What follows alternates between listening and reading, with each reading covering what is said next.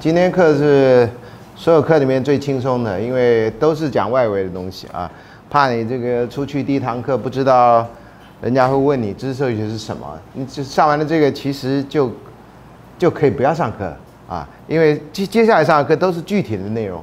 那这个是一个很一般性的讲法，就有点像你去观光旅游，先让你介绍当地的民情风俗，放几张照片，让你知道大概是在干什么啊。那这个就是，所以呃，我的每一堂课都有一个基本问题，很多老师上课从来没有基本问题就开始上课了，啊，那都不去思考一下这个你的知识的基础吗？啊，上礼拜我们介绍过教科书啊，介绍过这个相关的呃以知识社会学为名的书，我觉得这很重要。你要是不知道知识社会学有什么书，你就到有一天你就觉得，哎，我在哪儿听过一个叫知识社会学的东西，哎，我要去找书来看。然后你就到图书馆找了一本你能在书架上找到的书，然后你就打开看，然后你就认为这就是知识社会学。如果那本书写的不错，那你会觉得对知识学产生兴趣；如果那本书写的很糟糕，啊，那你觉得知识社会学我真的不知道的话，人生会更快、更快乐、更美丽、更光辉。我干嘛去了解这个会让我生命变陷入丑穷窘境的东西？啊，所以我我每一堂课都会做一个这种基础的反省，哈。那这堂课的先要告诉你知识社会学的名称啊，因为这是一个中文的翻译啊，中国人本来没有这样的，中文世界里面没有这样的名词，所以在德文呢啊，这个当然中间有很多的变化，最后大概定型的，你去讲叫 Wissenssoziologie 啊，或者说 Soziologie des visions 啊，那 vision 啊，那个你第二栏去掉 s，那个就是讲知识的意思啊。所以它可以合起来，它可以分开，这样啊。那英文没这个方便，因为你不能讲 knowledge sociology，一听就是洋泾浜英文啊。德文可以啊，英文不行，因为你一定要讲 sociology of knowledge，这个就是从这个德文翻译过来的啊。当然也有 erkenntnis 啊，认知认识这样子的用法，但是到后来沉淀下来啊，那这个法文呢啊，有的叫 sociology du savoir 啊，savoir 也是知识。带对等的意思啊，并不完全是一样。那这个日文，我这汉字可能可能那个“会”字是不是那个，我就没没用那汉字啊。那这个呃知识呢，日文叫 chishiki 啊，那那社会就叫 shagaigaku，所以 chishiki shagaigaku 啊。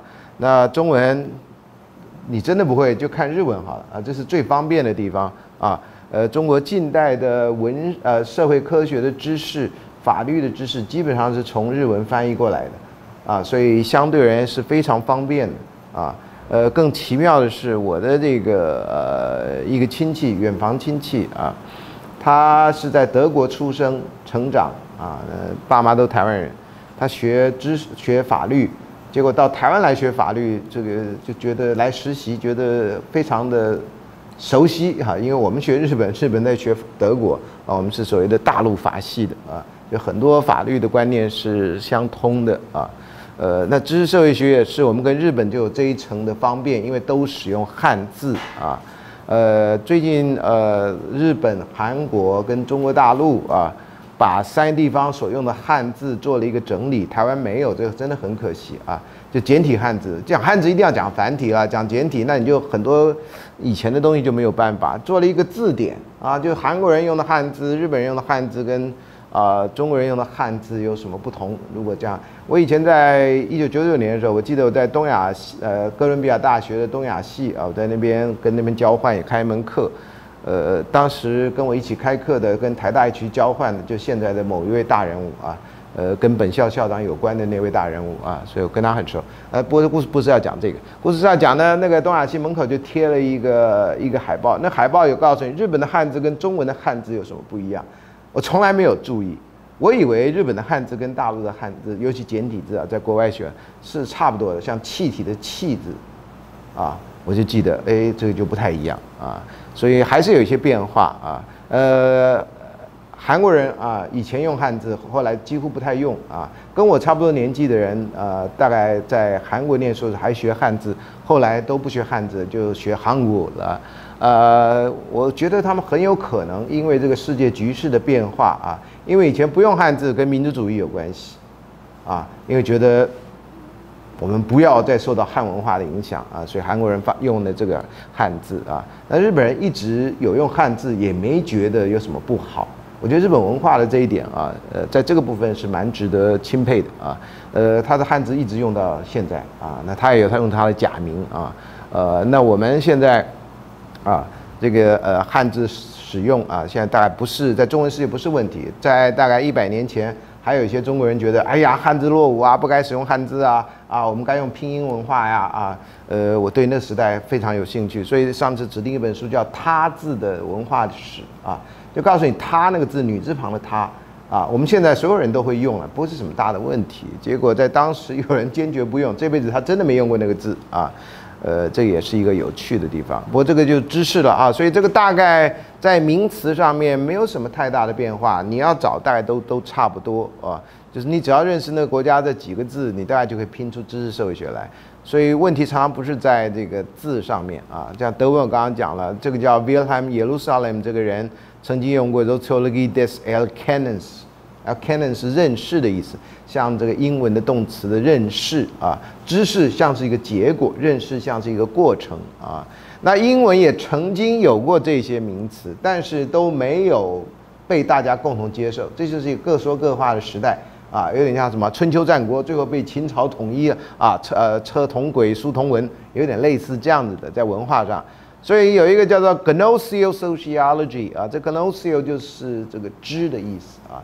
在基督教历史上有一派叫灵知派，Gnosticism 啊，灵知派，但他们现在的经典，呃，以前有英没有中文译本，现在繁体字、简体字都有译本啊，叫呃呃 Gnos Gnosticism 啊，就是 Gnostial sociology，这个是一个看起来像法国人，但是这本书是是一本英文书啊 d e c r e 所讲的。那也有人用叫做 Cognitive sociology 啊。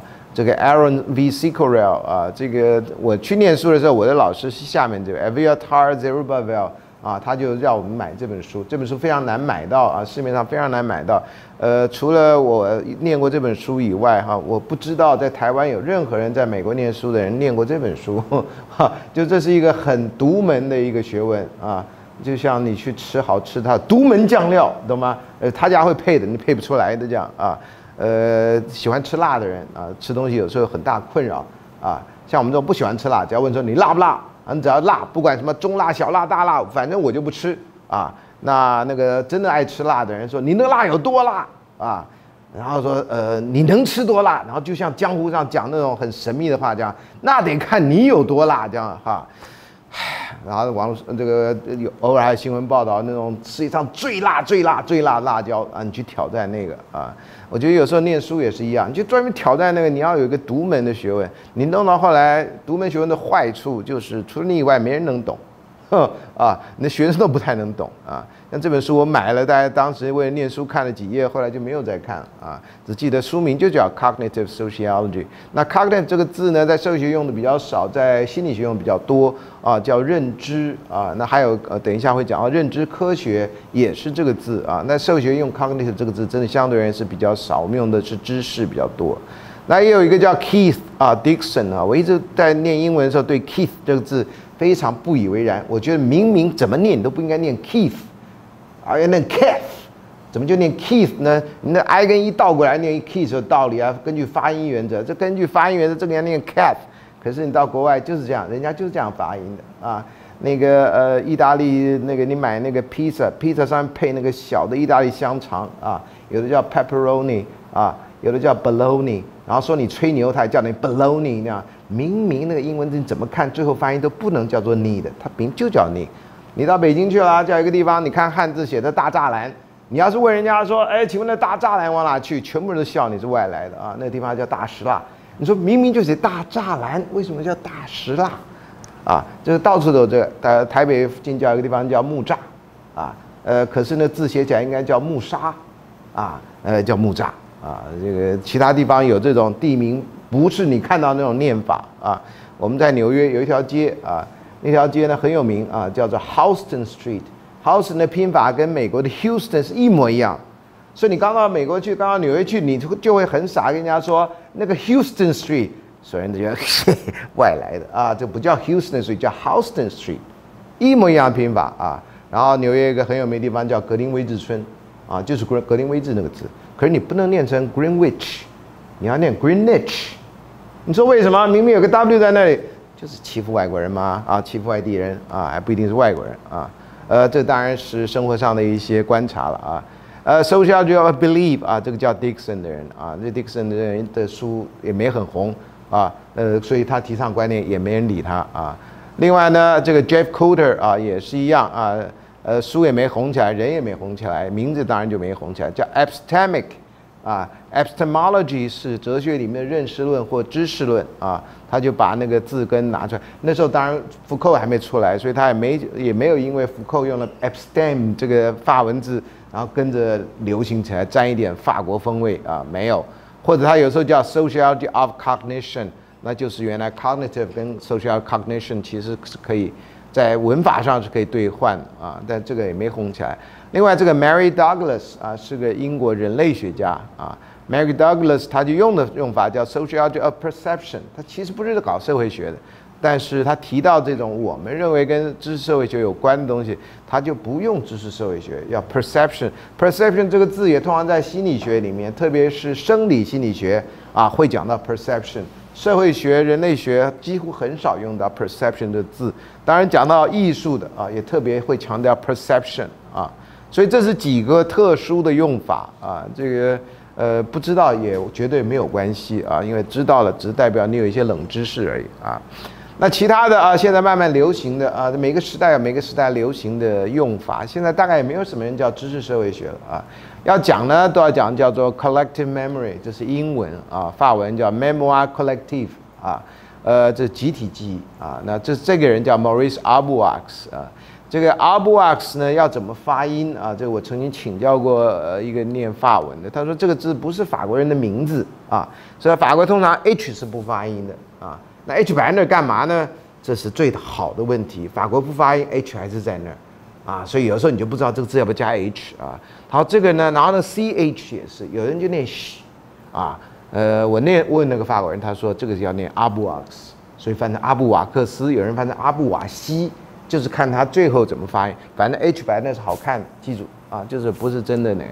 然后这个人呢也没写什么特别书啊，那他后他的那个一本书就被翻成 Collective Memory，其实那本书叫《社会记忆的框架》。如果我们很照字面翻译的话，那他死后呢，他的学生又帮他的东西编了一本书，就叫 Collective Memory。那本书非常难买啊，我刚回台湾的时候，我有一本原版的借给别人了，那人搞丢了。搞丢了也不跟我说啊！我常常有些书就搞丢了，后来我都不借不借给人家。我不是图书馆啊，呃，我的书都是非常有意义的啊，呃，但是大部分人对书就不是那么在乎啊。很多人没书就跟我借啊。当初我有这个名声，就有一天呢，很有趣的一个故事啊，就有一个老师的门口摆了一堆书，说要丢掉。就有学生就一看，就跑来跟我说：“老师，老师，那边好像某某老师的门口有一本书，好像是你的，因为上面有你的签名，这样啊啊。”我说：“什么书啊？”他说：“C. Wright Mills 的 Power Elite。”我说：“是我的书，但我不看了，我有借给他们，我也不记得。”啊，他老师好像已经扔了啊。我就跑去问那个老师：“我说你是不是扔了我一本书？”他说：“啊，那本书你的哦，难怪那么旧啊，我把它扔了。怎么样？那我欠你多少钱？我我我还给你。”我说：“那不是钱的问题，那是一个我跟那个书的故事。”你知道吗？你就彻底把我那个记忆给毁灭了啊！我不在乎那本书，因为那本书我也没看。但那个就是，所以人家送我东西我都很少丢的。所以这东西摆在这干嘛？我说这是谁谁谁送的啊？你用吗？我不用。但他送了，我就得留下来啊。那你什么时候丢？我死了以后丢吧。啊，万一还有纪念馆，还有地方摆，还可以打灯光，多漂亮！而且谁谁曾经在什么时候送我的，送我的东西我大部分都记得啊。现在年纪慢慢大，就所以我我蛮习物的啊，常常有一些没有用的东西。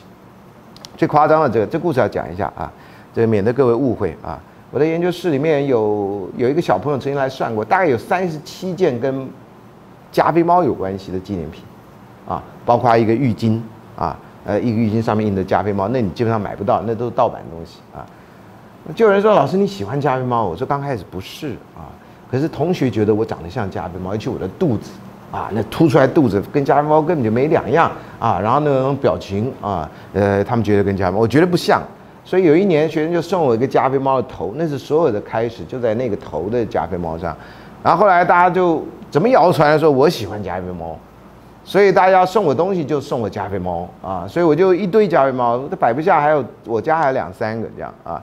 人家说有一次，我我我的研究室里面最大的加菲猫是跟小孩一样大那个，那是我号召学生，谁在夜市看到有加菲猫，你就帮我买。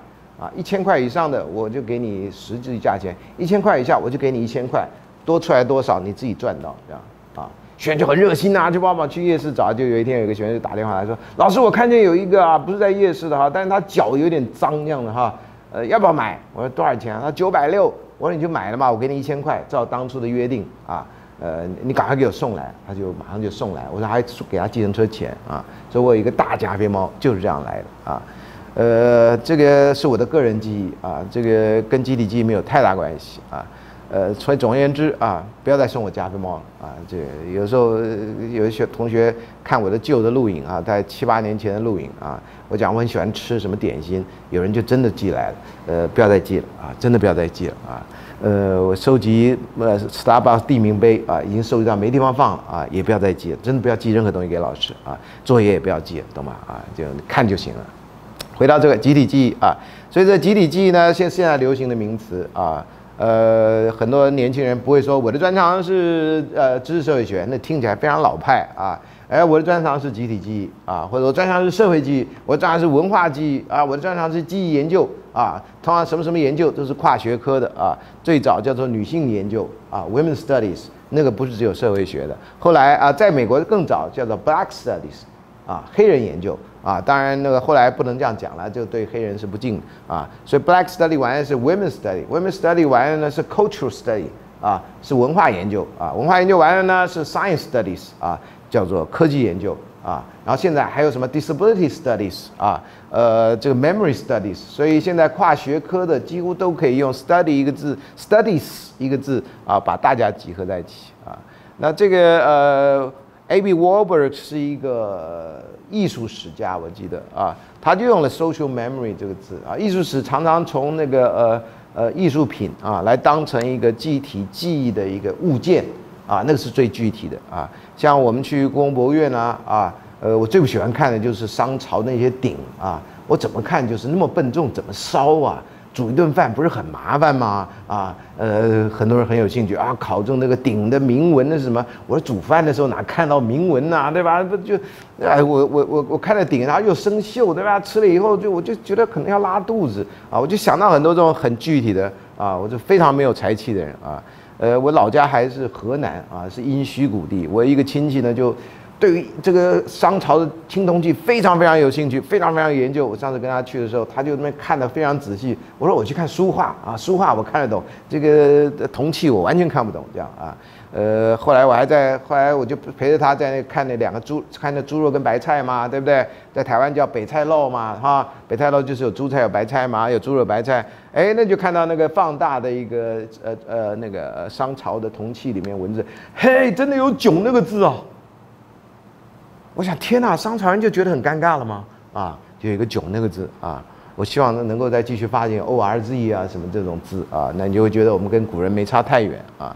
好，那我的老师啊，这个理论老师 a b e r t a r Zerubbabel，他也有 social memory 这种用法啊。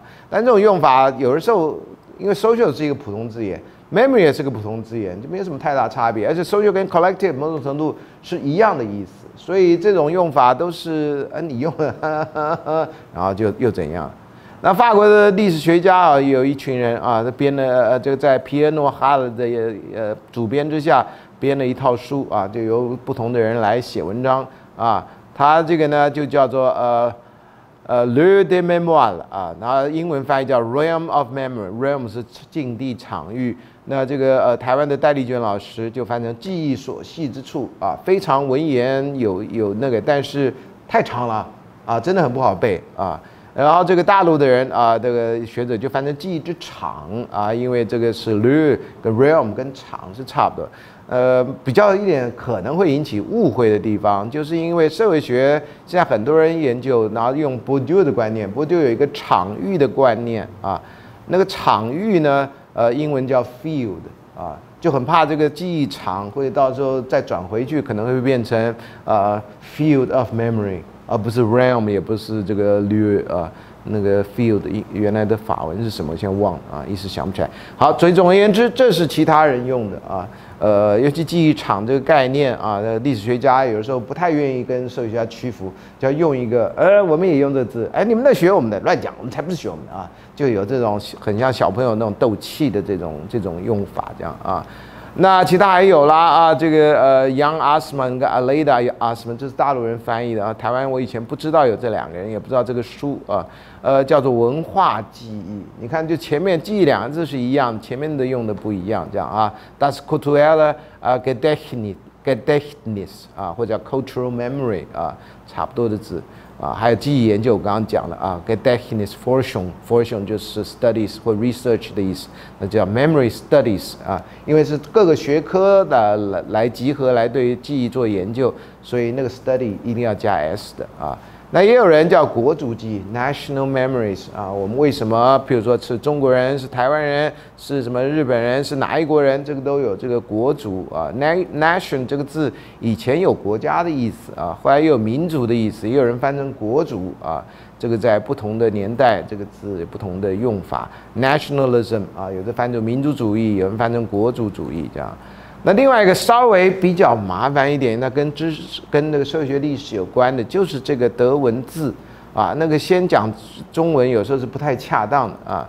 那个德文字呢叫 Wissenschaft Lehre 啊，Lehre 就是他们不太愿意用希腊字 logos 啊，就用 Lehre，Lehre 就是 logo 就学的意思。那 Wissenschaft 就是科学或者学术或者就是简单的一个学啊。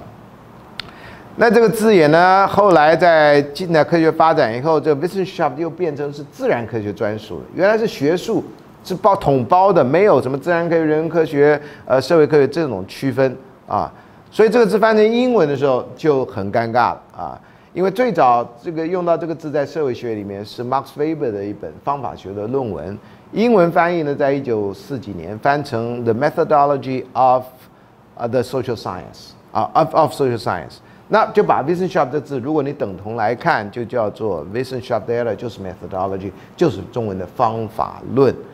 但这个字不是韦伯用的啊，因为他太太把他的相关的我们所谓方法的文章摆在一起，或方法论文章摆在一起，然后给了这个名词。这个名词原来是德国的哲学家叫费希特的人所使用的 Wissenschaft Lehre。那 Max Weber 的太太就用了这个来把这一群文章叫做这个名字。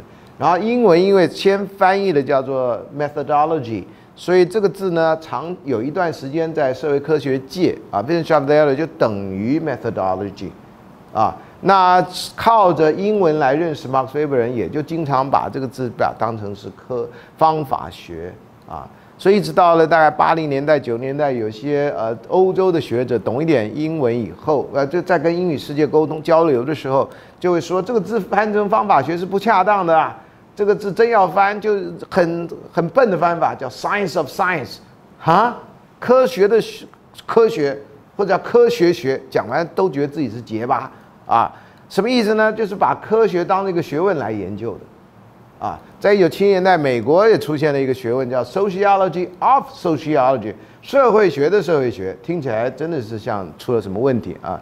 呃，不是，就从社会学的角度来研究社会学这门学科，它的人、它的制度、它的思想，叫科社会学的社会学，啊。就是现在讲叫做后设了啊，meta 了啊，那中国大陆把 meta 这个都翻成元了啊，元社会学那就更不知道是什么，反正每个地方都有这说法。所以呢，中文呢，如果你用的 methodology 这种英文翻译，那当然就翻成方法学；如果你用 science of science 翻译，那当然就叫科学学，听起来非常奇怪。你放心好了，这个原来的德文字你拿去跟一般德国人讲，他也觉得很奇怪，这不是日常生活用字啊。这是类似那种 GRE 单词啊，你考过了以后一辈子用不上的那种啊，真的是一辈子用不上啊。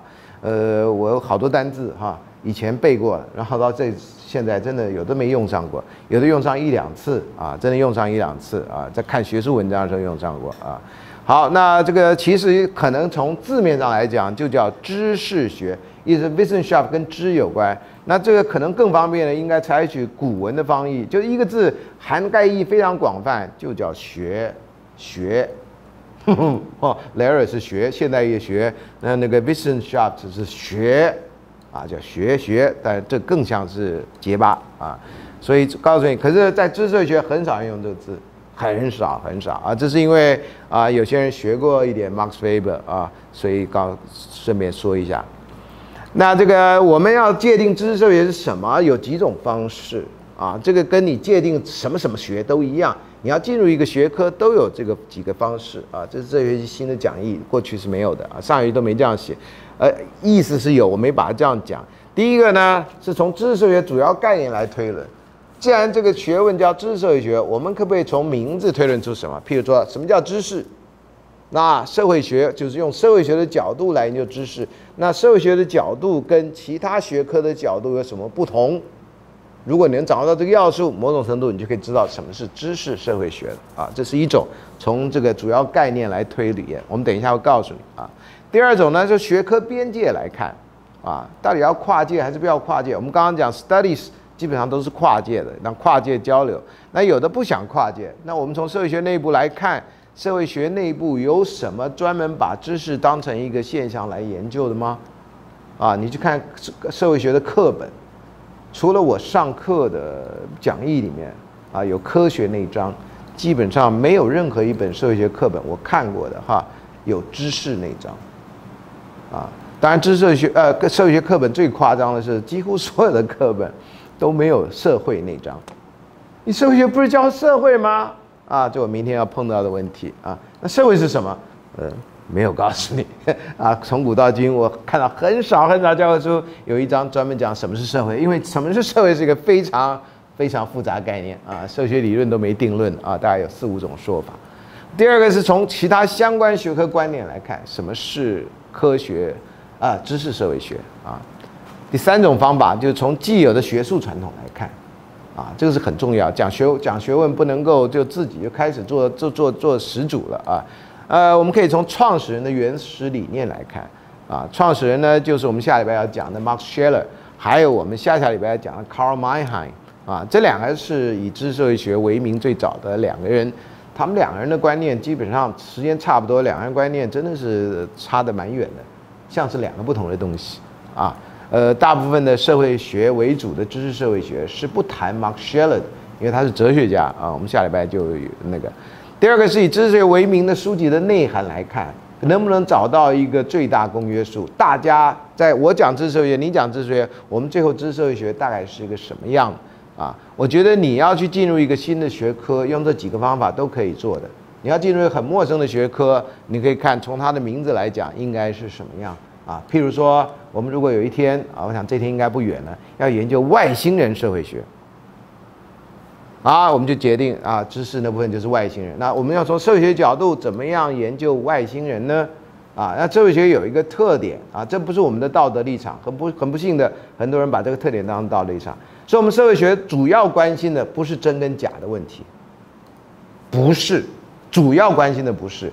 当然，你不主要关心不是就不是说我们不关心真跟假，不要误会啊，不要走到那么极端。我们要主要关心的是，因为人们相信了真跟假，然后呢，因为他的相信真跟假造成了某些社会后果，这是我们相信。你去研究宗教社会学就碰到这个问题。宗教社会学家经常被问到问题说：“那你信教吗？”啊，宗教学者那大概都是信教，宗教社会学家大概都是不信教的。啊，所以很多人不喜欢社会学家，因为社会学家常常就是来搞来搅局的，啊，叉叉社会学都是来搅局的。你不相信，你怎么研究宗教？哎，因为你们相信，所以我们来研究。你们相信以后这些行为、这些制度、这些思想造成什么样的，所以我们来研究啊。那你为什么不相信呢？哎呀，我相信了我就不能研究了吗？对吧？我就有偏颇了吗？说我们要保持一个中立的立场吗？所以我们不能相信。啊，当然，这个有的说我相信了，但我的信念不能够影响我的这个呃研究的结果啊。所以像中药社会学啊，这呃大部分的在台湾的中药研究中药社会学的人啊，没多少啊，呃，好像大部分都是不信教的，少数是有信教，这我知道啊。好，所以像这个，那我们知识学就研究知识学就比较这问题比较小啊，我们都相信有知识啊，那什么样的知识啊？所以如果回到刚刚的问题，如果有一门学问叫外星人社会学。那说你相信外星人吗？啊，这就不是知识社会知识学要研究问题，而是研究在人口里面有多少人相信外星人，他们为什么相信外星人？那为什么有人不相信外星人？啊，相信外星人里面男生女生的比例是多少？这跟性别有关。那外星人有没有性别啊？有没有说，我昨天碰到一个男外星人啊，我昨天碰到一个女外星人，我昨天碰到外星人夫妻啊？你怎么知道他们是夫妻啊？他们牵着手走路啊？啊，你不知道外星人就是牵着手那个样子吗？那其实是一个人啊啊，所以这个外星人种族的问题吗？外星那么大，当然应该有种族问题，有区域的问题，是吧？你来自第几个 quadrant 呢？来自第几光年的啊？我想应该有这种，对吧？族群的问题，有没有阶级的问题？一定有吗？一定有那种有钱的外星人跟穷外星人？你看他的那个他那航空器你就知道嘛，对吧？那个很破烂航空器的，显然是那种穷外星人，或打败了逃到我们地球上来的，对吧？啊，那个还有科幻小说啊。科幻小说就是我们现在对外星人的一些想象，科幻电影啊，对吧？所以那个真的要去做也是可以做的，不是不能做的。虽然听起来很荒谬，当然最后我们还可以研究啊。那为什么有些人认为研究外星人是荒谬的？这我们可以从知识社会学立场研究啊。为什么那外星在某些人是觉得很珍贵的知识，然后某些人觉得一派胡言？啊，我曾经希望有个同学。我教书三十一年，碰到一个对外星一样有兴趣的人，我曾经希望他能够写这个论文。呃，台湾那时候有两个外星人团体，专门研究外星人团体，两人不合的，啊，我说你去研究，他不合才好研究啊。那两人两门一派，他说老师其实里面没多少人啊，那会员是流动的啊，这边当加完然后跟那个组织不合，就派就流到这边来啊。反正在台湾好像没有人看过外星人，那叫 sighting。啊，sighting 还有它也很严格的标准啊，不是有一张影片照的怪里怪气，然后就叫做一张影片没有？sighting，是有他们内部的专业标准啊，所以他们还是有那个，所以有些你看有时候新闻报道啊有外星人，然后就会有专家出来验证这是照片作假呢还是怎么样啊？最新的一个新闻只有在某一个媒体有，就是说呃他们有一天用高倍数望远镜望月球啊，说月球表面飞过了三十几个不明航空器 UFO。啊，呃，那会不会是望远镜没擦干净啊？啊，所以有那个点呢，还是什么，就没人知道啊。我当然这是比较夸张的说法了啊。那么回到这个，就是可以有这几个角度来看。所以什么什么是经济社会学啊？那大概是什么样？然后你不知道的话，你去找一本经济社会学书来看就可以。但新的领域常常没有书，所以第三个就没有学术传统就没办法。但学科边界。啊，还有这个这个概念推演，这两个有时候是有办法可以做得到的。所以社会学可以生生不息，可以不断的创啊，就是这样来的。呃，在我念书的时候，没有什么环保社会学，没有什么生态社会学，现在可以有，是因为真的环环境影响到我们的生活。那这个很多在台湾是公共卫生人在做啊，社会学少数有老师开环境社会学，那书很少，所以你能够从第三个呃立场或第三种途径，你大概是很很难的啊。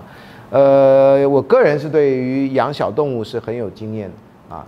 呃，大概在十年前吧，就有叫人与动物关系社会学，Sociology of Human slash Animal Relationship，很长的一个字，通常是澳洲人在研究，找到几本书很有趣啊。我因为有养，所以我也注意过这个问题哈。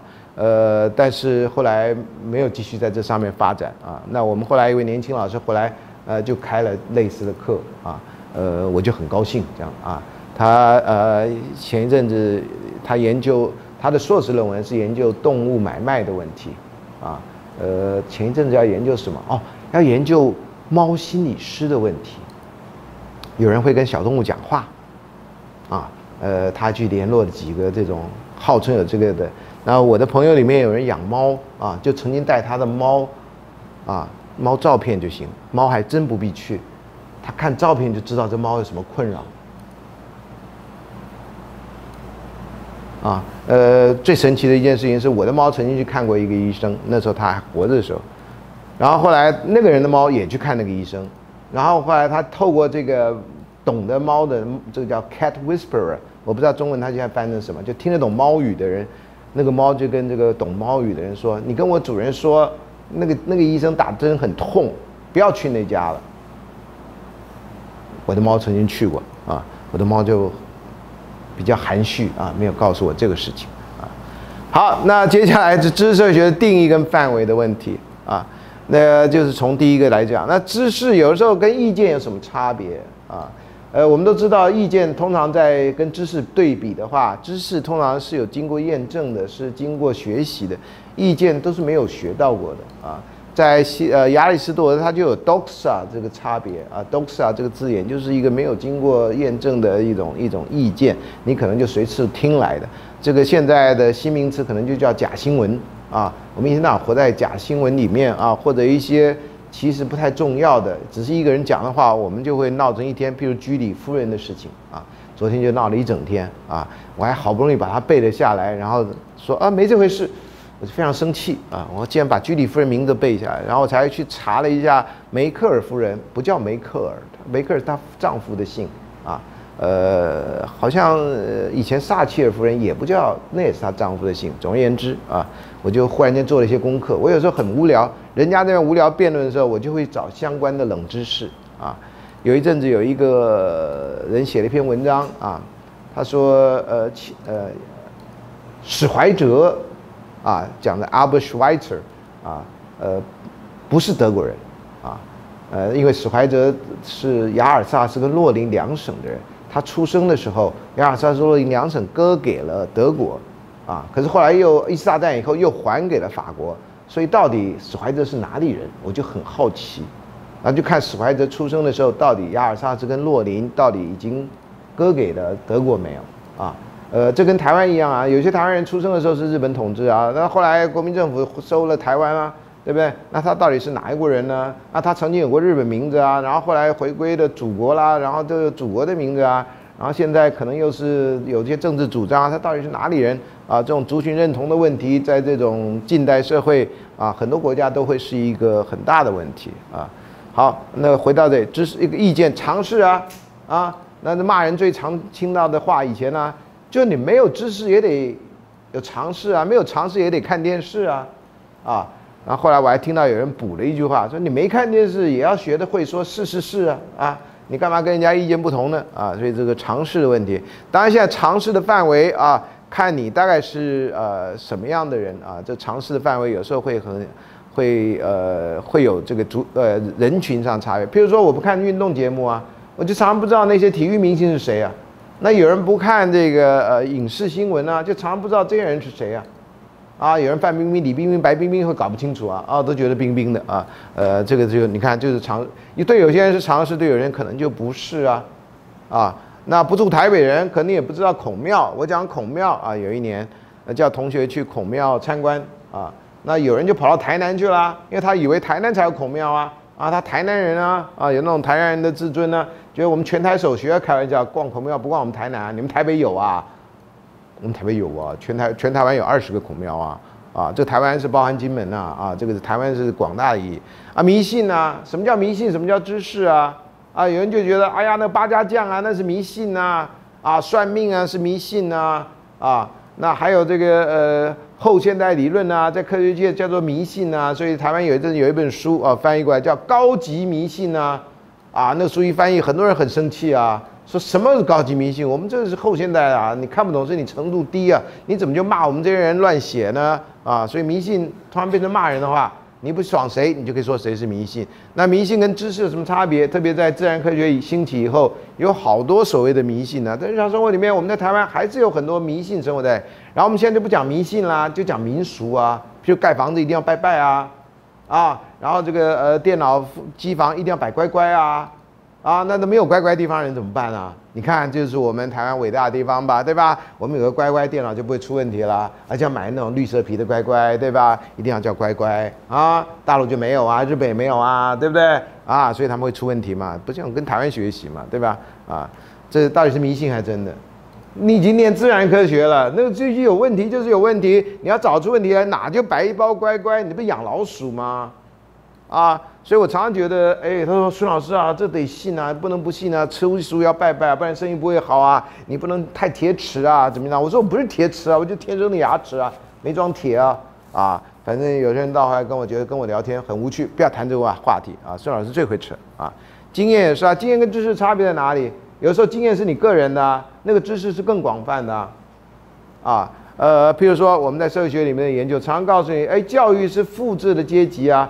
不同时代的人，因为文化资本的不同，所以呃，从大的层面来看，教育都是有钱跟有权阶级人在在在得到很多好处啊。那整个这个社会的阶层也是这样。那你从经验来看，确实少数苦读出身、白手成家人也都有啊，啊，但是比例上非常少啊，啊，所以你从不同的人在不同的经验。你的那个知识可能就不太一样。那另外还有一个就跟阶级有关的，到我们这社会学谈比较多。比如有钱人的小孩对警察的看法，跟穷人家小孩对警察看法是不一样的。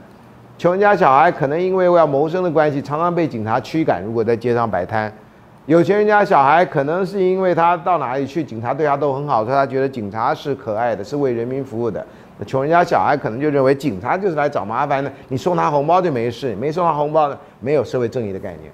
所以有钱人跟这个没有钱的人，或者阶层上面上层阶层人、下层阶层，至少对于执法单位的警察的看法是不太一样的啊。所以这个像经验啊、传统啦，这是一个很含混的概念啊，就是把一个过去的历史都叫做传统。那其实过去有很多不同的地方啊，啊，传统就是这样啊啊，我们以前都这样做的，现在为什么不行了啊？那我们台大最最关心的问题就是，以前校长就这样选的啊，啊，选出来就都这样子了，怎么这次就不行了呢？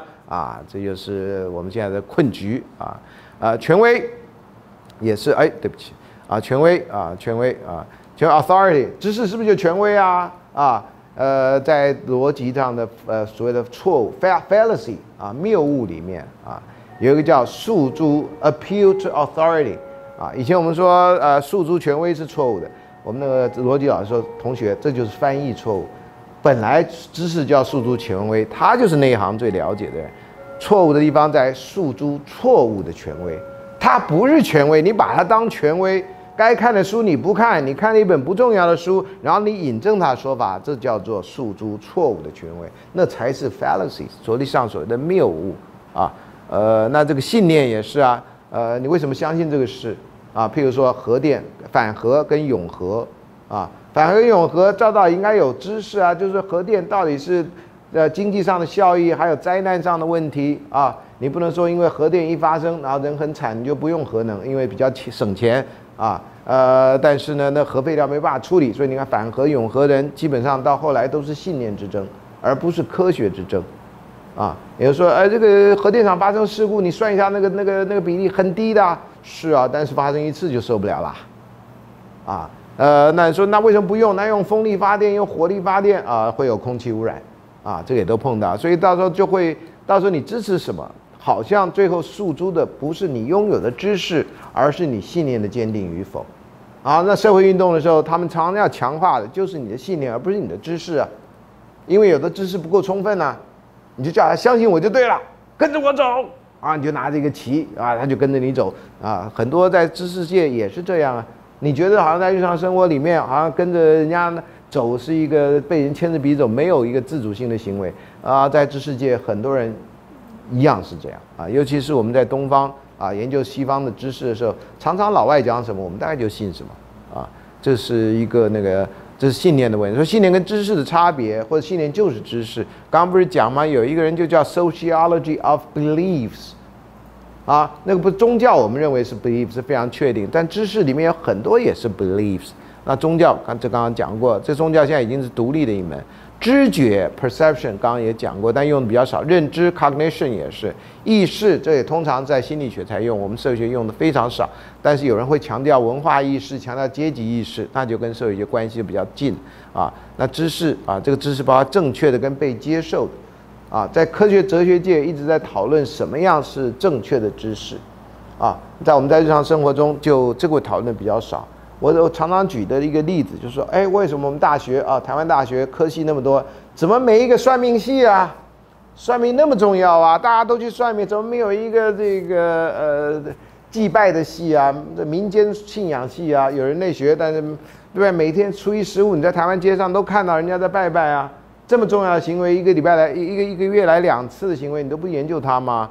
啊，那到底是正确的知识还是被接受的知识啊？哦，我也是听到一个呃学塔罗牌人说，我这是在西班牙的大学学到的，啊，西班牙大学里面有教塔罗牌啊，表示他的身份很高啊。那台湾大学也可以设一个塔罗牌系啊。对吧？将来你就可以在外面摆的时候，你就说我是台湾大学塔罗牌系毕业的，多好听嘛，对吧？啊，呃，为什么没有？为什么我们讲到塔台湾大学有个塔罗牌系，你就觉得这太 low 了吧？那个知识就没有被接受啊。可是大部分人每天还要看出门要看运势啊，看自己的星座，看自己运势啊。谁出门看今天呃知识社会学要教什么呢？啊，所以这个你别看这个没有被接受知识，没有被制度接受。思想啦、文化啦、文学啦、艺术啦、语文啦、科技，那学术啊本身这研究的比较少。当然，传播舆论有的已经变成专门的学科啊，这是知识社会学知识，有时候用不同的理呃呃名词来展现。好，所以我们上堂课说了知识社会学这个知识的部分啊，可以用不同的名字带进去的话，那就会变成一个不同的学科。那有一些有，有一些到现在为止还是没有啊。那接下来你看，这样知识社会学就会谈到到。或者有关谈知识的话，什么叫知识啊？相对于什么叫无知，还有什么不是知识啊？呃，像你在学校上课，老师没教的东西都不是知识吗？啊，我想也未必尽然，因为有时候因为时间的关系啊，呃，譬如说大部分社会学的课啦，都没教这外星人呐，都没教人工动物的关系啊，就我刚刚举的例子哈，那这些都不是社会学知识吗？啊？我想，当然在社会学入门的地方啊，可能都不算。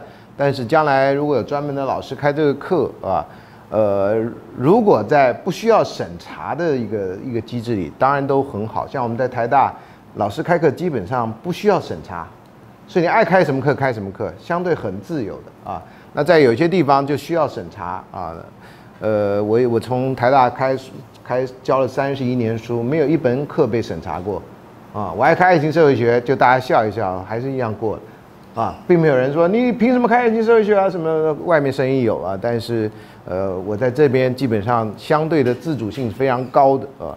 我如果真的有一天要开外星人社会学，我相信也没有人敢阻拦我啊。他难道不怕外星人来报复吗？呵呵呵呵呵啊。所以这个无知也是一样啊。我觉得我们的社会那么大啊，我们的人那么渺小，对很多事情我们显然是无知的。啊，如果我们的知识领域永远在原来的领域不断的这种踏步，我觉得进步会非常少。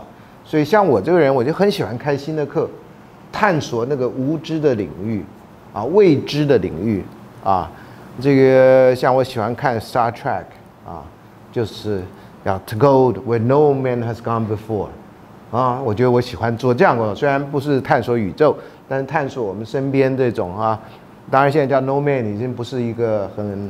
政治正确的性别正确名词啊，No one has gone before 啊，我很喜欢这个，所以我开创很多课啊，希望大家能够往这方面，因为这些课都是有趣的课啊。尤其念社会学，常有人认为，为什么社会学都那么无聊啊？社会学应该很有趣才对啊！啊，我当学生的时候也是这么想的，所以我当老师就说，好吧，别人不做我来做啊。那至于我做的是不是真的很有趣啊，那是另外一个事情了啊。还有启这个一般就会讲到启蒙时代知识观，特别是有后面立场的人再来看这个，说我们现在流行的都是启蒙时代知识观，这已经落伍啦。啊，启蒙时代是欧洲的大概十六世纪左右吧，啊，在之前是文艺复兴嘛，啊，在简单来讲啊，那启蒙时代知识观认为第一个有所谓客观的知识，啊，那是在那个时代所发展出来，那其他主观知识是要不得的啊，然后有理性的知识。啊，这种非理性知识也是要不得的啊！有真实的知识啊，这种虚假知识也是要不得的。所以强调知识有这个客观、理性跟真实的部分，相对于主观、无理性跟虚假的部分，啊，这种知识观到现在为止啊，特特别自然科学更相信这个了啊。那社会科学或人文方面的东西，呃，是不是相信这个就问题很大？所以后来就出现了一群人叫做反基础论的，就是反前面。啊，他认为根本就没有差别啊，知识根本就没这种差别啊。呃，这个你要看这个知识所仰赖的背景的问题啊，每个时代的背景和每个地方的背景、文化背景不一样啊。呃，到了后现代，知识就更没有这种差别了啊，是什么都行啊，anything goes 啊，呃，这就会陷入一个呃无政府主义状态啊，呃，所以有些人是从这里出发的，所以对于知识到底要怎么样，呃，前后的立场啊都不太一样。好，那接下来呢，知识社会学另外一个就是社会学的部分。那社会学是什么？啊，你要用什么方式角度去探索这个知识？第一个就是人群啊，社会学一定研究人群，社会学不研究单个的人啊，那个人要研究也是他类型，特别是一群有共同特征的人，像知识分子就是一个很好的啊，传统从知识学开始就有人注意的这个这个特质，有这群特质的社会的人。另外，精英跟大众，这个在意大利十九世纪末期的思呃学术思想里面就一直有这种说法，elite 跟 masses 啊，这个理这个理论当然后来影响到欧洲的法西斯跟这个呃呃纳粹啊，法西斯就认为啊，当然也不是只有法西斯这样啦，精英要领导群众，然后迈向一个未来的乌托邦啊，精英对大众是有责任的啊。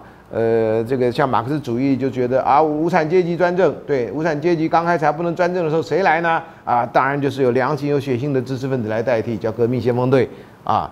呃，这个是当时的一些想法啊。那当然后来说，最后是一个无阶级的社会，所以精英最后跟大众就没有这个差别。你从马克思主义来看，那你从所谓的被人家认为保守主义的，到现在还认为精英跟大众是有差别的。啊，像美国跟英国的教育，那精英教育跟大众教育是很不一样的。大众教育是公共教育，啊，你们这个既然争取了民主，还要给你这一点教育。精英教育是很花钱的，在英国的那种号称公立学校，其实是私立学校啊。英国这是很奇怪啊，那伊顿公学，哎呀，那个那个那种。真的是应该被认为啊，在我们台湾或者大陆都认为应该改革的地方啊，伊顿公学啊，美国的一些非常有名有名的这种呃呃私人的高中啊，在念哈佛大学之前，那种私人高中在纽约就那个都是非常非常精英的，学费又贵啊，那比念普通一个大学要贵太多了啊。在美国，好的大学基本上都是私立大学，私立大学学费都 N 贵的啊。你为什么会那么贵？那你想，他没有政府补助，他靠的都是自己靠的这个教授薪水是来自学生的那学费的一部分，它当然贵了。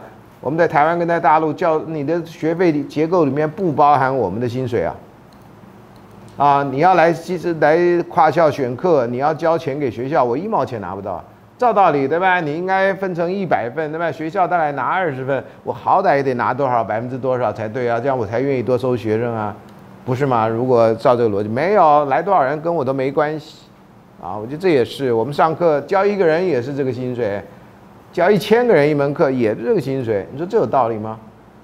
啊，那哈佛大学啊教三百人什么正义的课，在一个大礼堂里面教啊，那他当然薪水是非常高的了啊。我在念哥大的时候啊，一九九九年我后来去交换半年。有一年，那个就是说他要搬家了。我说你为什么搬家啊？在那儿毕业的学生，他说因为这栋楼的这一层要清出来，给一个教当代文明的老师上课，重金把他挖来，就是来教通识课的。然后这个给他的优待就是在学校大门口就有一栋房子，学校那学校地产就把一整层楼清出来给他一个人住，这叫优待，你懂吗？啊，我在大学门口啊，就大学没宿舍，没关系，我大学门口给你一个一整层，把其他全赶走，一整层给你，这才优待。啊，我们当台大校长可能都没优待。以前台大校长在哪个地方有一个寓所啊，在福州路有一个寓所，很大的一层楼的日本式房子，现在有没有我就不知道啊。另外，在中华文化里面，儒生是很重要的一群人啊，在一九零五年废止科举之前啊。跟这个呃隋唐开始就有这个科举制度，这些考试的知任官的知识分子啊，英文叫 lit 呃，这应该是一个拉丁文 literati 啊。Max Weber 的呃《儒教与道教》那本书就有提到这一群在中华文化里面很特别的一群人啊，呃，这个人群，这些人群所拥有的知识啊，对他对这整个社会或整个历史跟整个文化的影响啊，所以人群在社会学里面是很重要的一个研究的一个。一个那个，所以研究跟知识有关的就是这些啊。如果要讲的话啊，那制度方面啊，制度方面家庭啊，你的知识很多所谓的意见什么都是从家庭来的，你的道德观念的确立基本上从家庭来的，所以隔代教养就会有这个差别。隔代教养，因为你的那个上你的那个呃前两代的人，他的知识的水平跟你不一样啊，他的知识通常是农村知识，不是都市知识啊，啊，所以隔代教养有教啊，没有有有有养没有教，啊，他可以给你吃，你绝对不用担心啊，但是没有没有现代教育。啊，完全没有现代教育，这是现在普遍的一个大问题。那另外教育呢？啊，教育要改革，教育要那个，你要念什么样的学校，你就得到什么样的教育，这是累积文化资本。照现在的说法啊，就是从 Bourdieu 的说法啊。那政治啊，政治怎么控制教育？怎么控制家庭关系？这跟政治制制度结构都有很大的关系啊。那经济更是啊啊，你要是家庭经济不好，你的那个出路是非常的有限的。啊，你经济好，譬如说在台湾的话，你如果经济好，你从小就可以不要念台湾的学校，啊，有人就可以去念什么欧洲学校，弄个办法去念美国学校，啊，理论上美国学校、欧洲学校都要有欧洲跟美国什么身份，那有些人可以买得到身份啊，啊，有人有护照啊，在台湾出生有其他国家的护照啊。啊，所以发身份证、发居住证算什么呢？我常觉得这个，你这个往世界格局看，有钱人这是他家里的一堆护照，就少于情报人员那种而已啊，不像那什么，对不对？啊，汤姆克鲁斯一打开那个保险箱，里面有 N 国的护照、N 国的货币，然后还有一把很重要的枪，对吧？啊，这是，这是从那边得到教训。所以你没钱，你大概只能政府提供的东西，甚至都没有啊。那宗教也是一样，是很重要的制度啊。宗教规定你能想什么，不能想什么。啊，譬如说我们即将面临的公投的问题，其中就有一个多元成家的那个问题，啊，那大部分的宗教是反对同性恋的，啊所以那个大部分宗教的信徒大概在那张公投票上都会反对同性恋有组成家庭的权利，啊，那大部分的比较自由主义的学过的这个现代有现代知识的人，啊，呃，特别是不信教的人，这一点可能在投票上面就有这个投票行为的差别，那宗教影响知识，就这个就是一个最明显的。台湾最不明显的地方是，其实，在欧洲，在美国啊，特别是女人堕胎啊，是一个罪啊，这个比法律还严重。宗教上认定的罪，尤其是基督宗教不准堕胎的，特别是天主教啊。那台湾堕胎一直不是个问题啊。美国我在念书的那个之前，有那个堕胎诊所，常常还被这个反堕胎人士摆炸弹。美国当初在这个所谓的恐怖中东的恐怖主义出现之前，是自己人摆炸弹炸这个呃恐这个这个堕呃堕胎赞成堕胎的诊所啊，实行堕胎的诊所。这几年听的比较少，但是在我念书时候，哇，这是常见的事情。美国有很多事情是我们其他地方的人不太了解，哈，这也是一个问题。呃，这这这这这是一个美国是很重要的问题。啊，堕胎跟反堕胎，他们的政治人物在这一点要表态的时候也是非常非常小心的，也是选票考虑啊。另外是文化上面啊，跟知识的关系，比如高端文化、低端文化啊。这后来很多文化社会学有研究啊，我们大部分人都是杂食文化，omnivorous 啊，就是我们不是一个那高端文化很多是不跟低端文化来往的啊，就像同样穿牛仔裤。我们大概低端的人可能就是在菜市场买一下几百块牛仔裤就行了，对吧？啊，高端的人呢就得到很名牌的店，对吧？然后那个裤子就破破烂烂的，比那个穷人穿的裤子还要破烂啊，才能显示出它的高端啊。那个破还要破的样子啊。以前我牛仔裤是要穿到大概几年后才会变成那样，哎，他们高端人买的时候就是那样啊。所以这很奇怪啊！为为什么穿牛仔裤？牛仔裤以前就是工人穿的，因为耐脏啊，可以好久不洗啊。那个有钱人，你干嘛把自己穿成那样呢？啊，糟蹋自己干什么呢？啊，所以这个也是一个不同的文化阶层文化的不学习。另外，当然还有生活风格的问题啊，就有知识的问题。譬如这个，我们刚到美国啊，有很多小地方就不太知道。好，接下来语文啦啊，我们认识的世界靠语文呐。你要有些话你能说，你大概就有概念；有不能说，你就不知道什么意思啊。所以这个语文是一个很重要的，大部分人都忽略的啊。像我的社会学课就特别有一章讲语文，啊，别的社会学书都没有，我有啊，因为我觉得这很重要。我们语文怎么样影响我们的社会生活啊？语文怎么样影响我们的认知？譬如说，为什么念研究所啦，老师都叫你念英文东西啊？一个很大的争议就是说，现在都有中译本，来干嘛念英文的东西？啊，那中译本翻的不好，那英译本就好吗？如果同样是从欧洲语文翻过来的，你怎么知道英语本比中语本好？如果都翻得不好，读中文不是比较快、比较方便吗？你干嘛一定要读英文的呢？啊啊，因为当然要到国际会议场合要跟大家沟通，还是要讲英文的多。那我们可以派 Google 翻译啊啊！我们要展现二十一世纪中国人的世界啊，中国语文的世界啊！我干嘛一定要讲英文呢？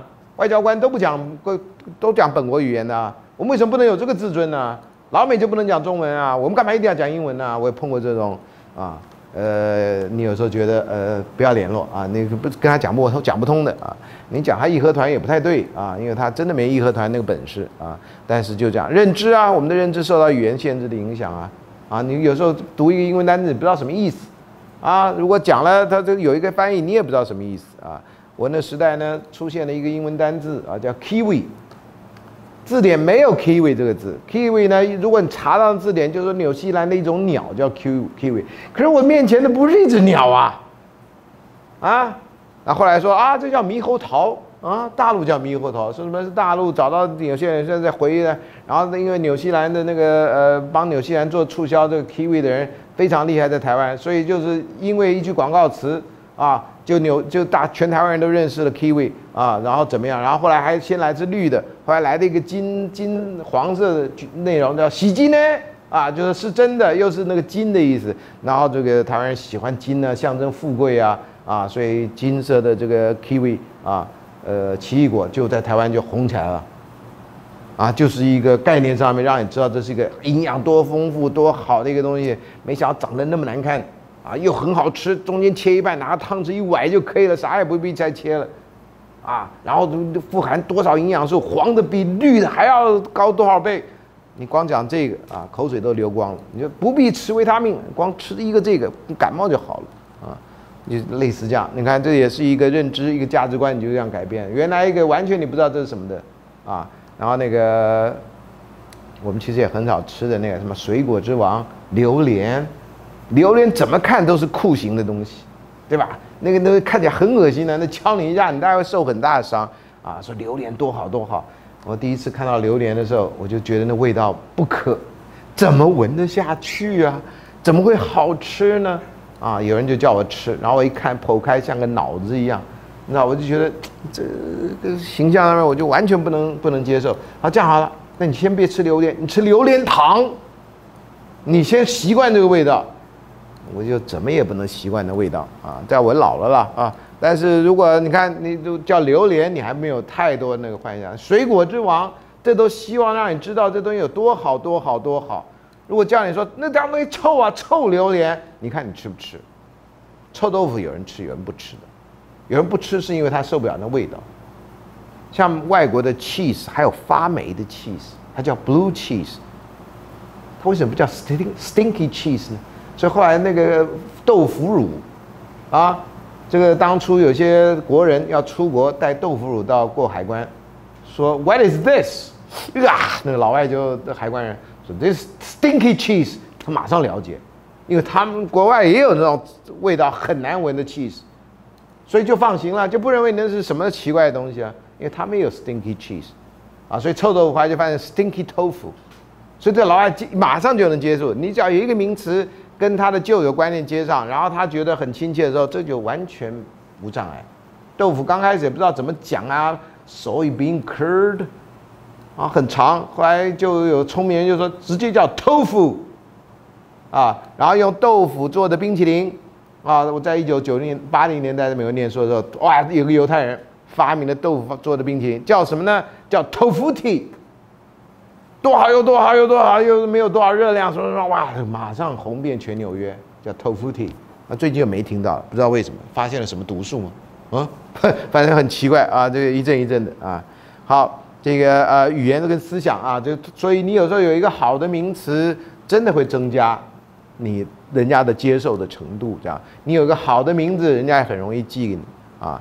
所以这是这个跟知识有关的啊。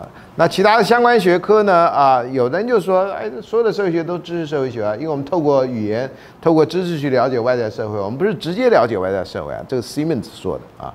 然后这个 Simons 就是写了一本有关呃卡呃 Karl Mannheim 的知识社会学。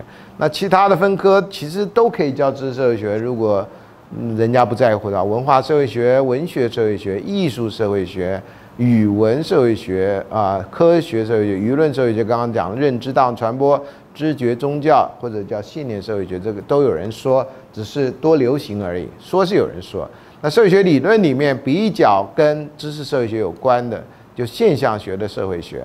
Phenomenological sociology，特别是 Alfred Schutz 的理论啊，俗名方法论 （ethnomethodology） 啊，这个特别是这个 Harold Garfinkel 的理论啊，然后这个会谈分析叫 discourse analysis，有的叫做 conversation analysis，不是 conversation no 啊，不是把 conversation 名字不是啊啊呃呃洛杉矶有一群大学教授，特别两个有名的人做了很厚的 conversation analysis，对于那个呃。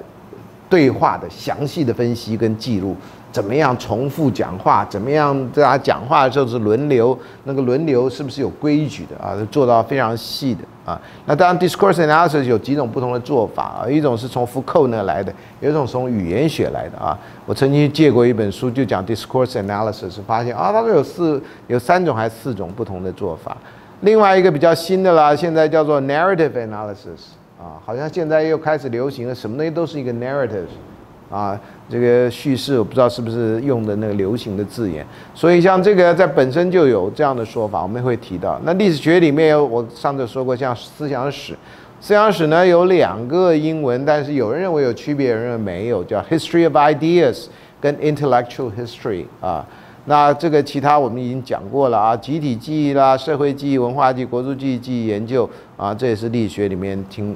这个出现啊，历史学家说我教的是知识社会学，这就这就叛徒了嘛？你怎么至少你说我教的是知识历史学，听起来也很怪嘛，懂吗？啊，所以他们就有这个名字。可对我们来看，不管你叫什么，内容是一样的嘛。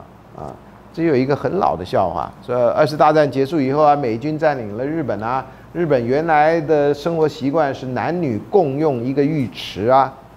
日本美国人去了啊，就这不文明啊啊，怎么就男女共用一个浴池呢？太不文明了。那日本人说好啊，那怎么样？分开啊，日本人就加一个大门，写男汤女汤，进去还是同一个池，啊，应美国人要求，所以要文明，文明就在那门上。那另外一种开玩笑的文明，说啊，非洲人现在文明了啊，以前他们吃人肉啊，现在他们用刀叉吃人肉啊，啊，工具文明了啊，所以 这个有时候很多很多奇怪的笑话啊。好，哲学上呢叫认识论或叫知识论啊。知识论是讲结果，认识通常讲过程啊，叫 epistemology 啊。epistem 是希腊文的知的意思啊，或者跟知有关的啊。那也有叫科学哲学啊，科学哲学叫 philosophy of science 啊。特别提到呃，其中有一个部分，科学知识怎么样是一个有效的科学知识？那科学的进展是怎么一回事啊？这个呃，我以前。学这个呃科学社会学的时候，有一一定要学这个部分。那这部分进到某个阶段，后来后现代人出来，那就不必搞了啊，因为等于你搞的都是白搞啊，因为他觉得知识没有标准啊。那接下来人类学里面有所谓的历史人类学啊，有认知人类学，但是我在这方面不熟啊，有的只是看到我看到的文献里面有人这么说啊，那可能也有记忆人类学吧，我想可能看就看老师怎么命名了。这不是一个到现在为止很有规模的或很有历史的东西。那这个在 MIT 有一个 program 叫 Cognitive Science，这是在心理系，在台大大概是心理系在弄，比较为主。你看认知心理学啊，那人工智能，那现在能搞的人就很多，语言学家，这个什么搞电机的，搞什么的都有啊，AI 的啊，呃，那个呃人工智能，这是一一日千里啊啊，呃，我真的觉得。我退休之前，可能，我说我今天早走过来，我还希望台大能够变成一个人工智能校园，啊，呃，譬如说像我这样老师资料都在里面，对吧？就上礼拜是在这儿说，还在哪儿说的？啊，就是我一进来就孙老师啊，您来了啊，我们马上备一辆车，你等着啊，马上备一辆车把你带到你要到的学学校。你今天应该是上什么课吧？啊，你看太阳那么大。啊，我们给你撑了一个伞啊，就来了一个机器人。孙老师，请问你要选复古式的机器人背你去，还是那个公主抱式的背你去啊？然后什么啊？如果是呃复古式，请按一啊；公主抱式，请按二；如果要高尔夫球车，请按三啊；联络什么人员，请按零啊。那我就选了，对吧？然后就噗就来了一个机器人。孙老师您好，听说你选的是复古式的，来，请跳上来啊！我就跳上去，他就背我，对吧？啊，你的书呢，我们有另外一个机器人来帮忙啊，你就不必背那啊就啊，孙老师今天天气很热，讲个笑话给你听啊。嗯，孙老师，你需要水吗？呃，我这里有三种选择啊，你到底按一、按二、按三？你看，你要乌龙茶、绿茶还是水果茶？多好，对吧？进了教员就是一个享受，对吧？啊，孙老师，那前面你将会碰到三个你的学生，要跟他们打招呼吗？啊，什么之类的。那个学生的成绩分别是 A 减、A 减、A 减，对不对？啊，呃，不打招呼我们就换路，啪就换了这样啊。你看多好，都把我都想好了，对吧？啊，人工智能。啊，孙老师，你的课的可能标课程的那个内容全部都上网了啊！你只要眼睛瞄一下，我们就会换页啊，不用你这用手操纵这样啊。孙老师还有什么需要替你服务的地方吗？啊，下课了就孙老师，你要按摩一下吗？啊，你的我测量一下，你今天血压有点高啊，我们现在用按摩椅方式啊，进入按摩椅模式。孙老师这样好吗？这边要多用一点力吗？啊，然后最后只好把声音关掉，这样太啰嗦，这家伙。人工智能啊，将来可能我们，你看我们现在的在很多人学习的都是学习人工智能可以被取，可以被人工智能取代的东西。你要背中国的历史朝代，譬如说，这将来那不要讲将来，你现在上网查一下，什么都有啊。化学元素表，以前啊，我那天碰到一个学化学，我说我就背不起化学元素表啊。那，孙老师，你现在不用背啊，用查的。我说对，但我的时代要背啊。你看花那么多时间做，后来会被取代的事情，有意义吗？啊，说啊，训练你的脑子啊，所以这个你看，从认知科学来看，人到底应该发展什么？如果机器已经可以超越我们的地方，我们还要去发展那个东西吗？啊，所以我觉得这个人工智能出现，对于人跟禽兽跟机器之间的差别是什么？啊，我觉得这非常的重要。语言学啊，它就没有哲，你看哲学、神经科学、认知人类学，啊，将来可能你一生下来就植入个晶片。啊，甚至你弄个什么人那个眼睛也都把你换了，这人工所有器官都把你换了，然后每十年固定再换一次，因为人的器官会老化呀，你眼睛不会啊。像现在的技术啊，我的这个白内障这眼已经都解决了，啊，还选远中近三个什么什么三个 E 还防 UV 的，然后我这个现在还是原来的，那马上要换了，啊，然后换完以后我的眼睛会好到不行啊，传说可以当狙击手啊。我杀谁呀？我当狙击手干什么呢？书摆那么远都看得到啊！对我就讲哈，看书翻页，对吧？我除非变成 Stephen Hawking 啊。然后这个我说总结了，有的时候是不同对象跟不同的观点吗？还是同一对象不同的观点而已？我我基本上比较认为是同一对象不同观点，也不是同不同对象同一观点，也不是同一对象同一观点。我觉得基本上大概是二。啊，所以大家用什么名字，其实研究出来的东西或者研究角度其实是差不多的啊。好，接下来就知识社会学教科书那种比较知识，我在前面讲的第三种的这种啊研究方法，比如说这个人叫 Stark 啊，这不是那个钢铁人嘛啊，当然也叫 Stark 对不对啊？他一九五八年就说，他书名就叫知识社会学啊，然后加深对于思思想史理解的一篇论文。那是一本书啊，叫一篇论文是用古典的用法，treatise，这是呃十七八世纪这个呃哲学家的用法啊。然后你看它知识社会学领域啊啊，前身是什么，本质是什么，结果是什么。然后第二部分呢讲它的问题啊，社会决定。通常知识社会学的一个简单的说法就是我们的知识是由社会决定。那社会决定是什么意思？啊，性质啊，程度啊，性质就是它有有或没有，程度是有多少或或怎么样，然后社会决定征服，怎么样可以克服所谓的社会决定啊？那第二篇这个 Horowitz 的一篇呃一本书里面，他说他的书就很杂，你看用科学方法研究知识啊，挑战跟回应是什么啊？知识社会学史前史。啊，这史前史当然是后来人建构出来的，当事人并不认为自己在做知识社会学。啊，经验描述与社会规约，啊，哲学方法与社会理解，运作哲学 （operational philosophy） 这哲学派有一阵子用的东西，后来就没有人用了啊。它跟功能社会学，这也是现在不流行的东西啊。科学批判跟知识社会学。啊，社会知识跟意识形态形构啊，这是因为 Karl m a y h e m 的第一本书就叫做 Ideology Utopia，所以呃，意识形态一开始就知识所关心的东西，想要跟真正的知识做区隔的啊。那乌托邦主义结构也是因为意识形态跟乌托邦是一个对举，后来就没有人这样做了啊。在 Karl m a y h e m 以后，这种做法很少啊。那知识社会学的法则跟层次什么？看知识跟社会行动的问题啊，知识跟社会行动问题很像中国传统所谓知行的问题啊。那这样最有名的人当然就王阳明来讲知行合一啊，在在中国古代，知就是行，知一定蕴含着行，你行了没有知是一定没有的。但后来慢慢分了，所以才需要这样的解释。所以你有看到什么跟前面相同的地方吗？第三个就是这本我觉得不重要的一篇文，翻成中文不太重要，翻有些错误地方。The Hans Neisser 这个人啊，啊先讲知识有一章，一章讲呢人类心灵的自主性啊。讲到实际社会学一些问呃知识社会学问题，实验科学兴起，这项科学啊，非实验科学程序规则理解跟行为，经济学当这种科学，系统社会学中的模型。现在你大概系统社会学，像我们大家顶多叫社会系统，跟那个呃是 Luhmann 那种啊，这种系统社会学不是讲 Luhmann 那种啊，解释法则跟因果啊啊，这个法则是 law，因果是 cause，这个在培根时代啊。他要求学术要争要寻求的是一种法则的问题，所以牛顿定律啦也可以讲作哈，叫 laws，就是运动三大定律啊什么的。然后到了这个呃从呃亚里士多德开始就要追寻因果关系，那后来又不追寻法则，因为法则是需要建立很多事情之间的因果关系，所以要先把因果搞清楚才知道法则啊。那社会学在二十世纪初期还有人写书讲 social laws。希望建立一些社会科学的一些呃规则，像自然科学那样，然后希望能进步的像自然科学那样。一九六零年代啊，就所谓行为科学，行为科学就尝试从人跟人之间的关系，从那种小地方开始建立一些命题，那弄成一个系统。后来也没有也没有发展完成啊。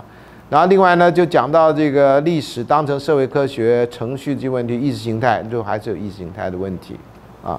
这是 Nice 在六零年代，这七零年代了哈。他这个呃，toward 通常古典翻译就是厨艺，一个事情还没有还没有真正落实，我们就来 toward 一个什么什么的，就是我有一个这样的建议啊，讲的比较比较这个含蓄一点。那这个呢，他的前前辈跟先锋，他就从培根讲起啊，从圣西蒙。啊，其实圣西蒙社会学知道它比较少，孔德的东西我们知道多一点点啊。还有呃，这个欧洲的保守主义传统啊，那个后来 Karl Mannheim 就早签的一本书，很后来才翻译，就叫 Conservatism，研究保守主义。那有人觉得保守主义这个名词不好，因为保守就被认为是不好的东西啊，所以有一阵子啊，这个呃有一个翻译者就把保守讲成守成啊。守成不易啊，这在呃台湾的这个中华民国的国旗歌里面，守成不易啊，守成就表示把过去的传统能够维护下来，比较没有保守所蕴含的那种不好的道德上的意思啊。那方法学跟概念设定，马克思跟意识决定，涂尔干跟社会学这这这卸了个现象学，这就有点从社社会学那个，我我基本上也是根据类似这样的做法啊。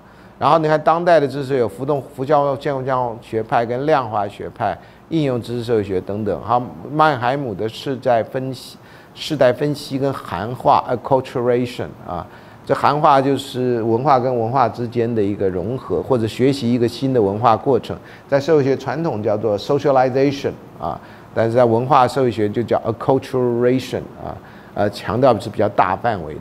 啊，知识跟权力跟大学之间的关系啊，这在福寇应该还没有出现之前啊，福寇很喜欢用的是呃知识 slash 权力啊，好像这两个是一体的两面，有的时候没有啦，有的时候有了啊。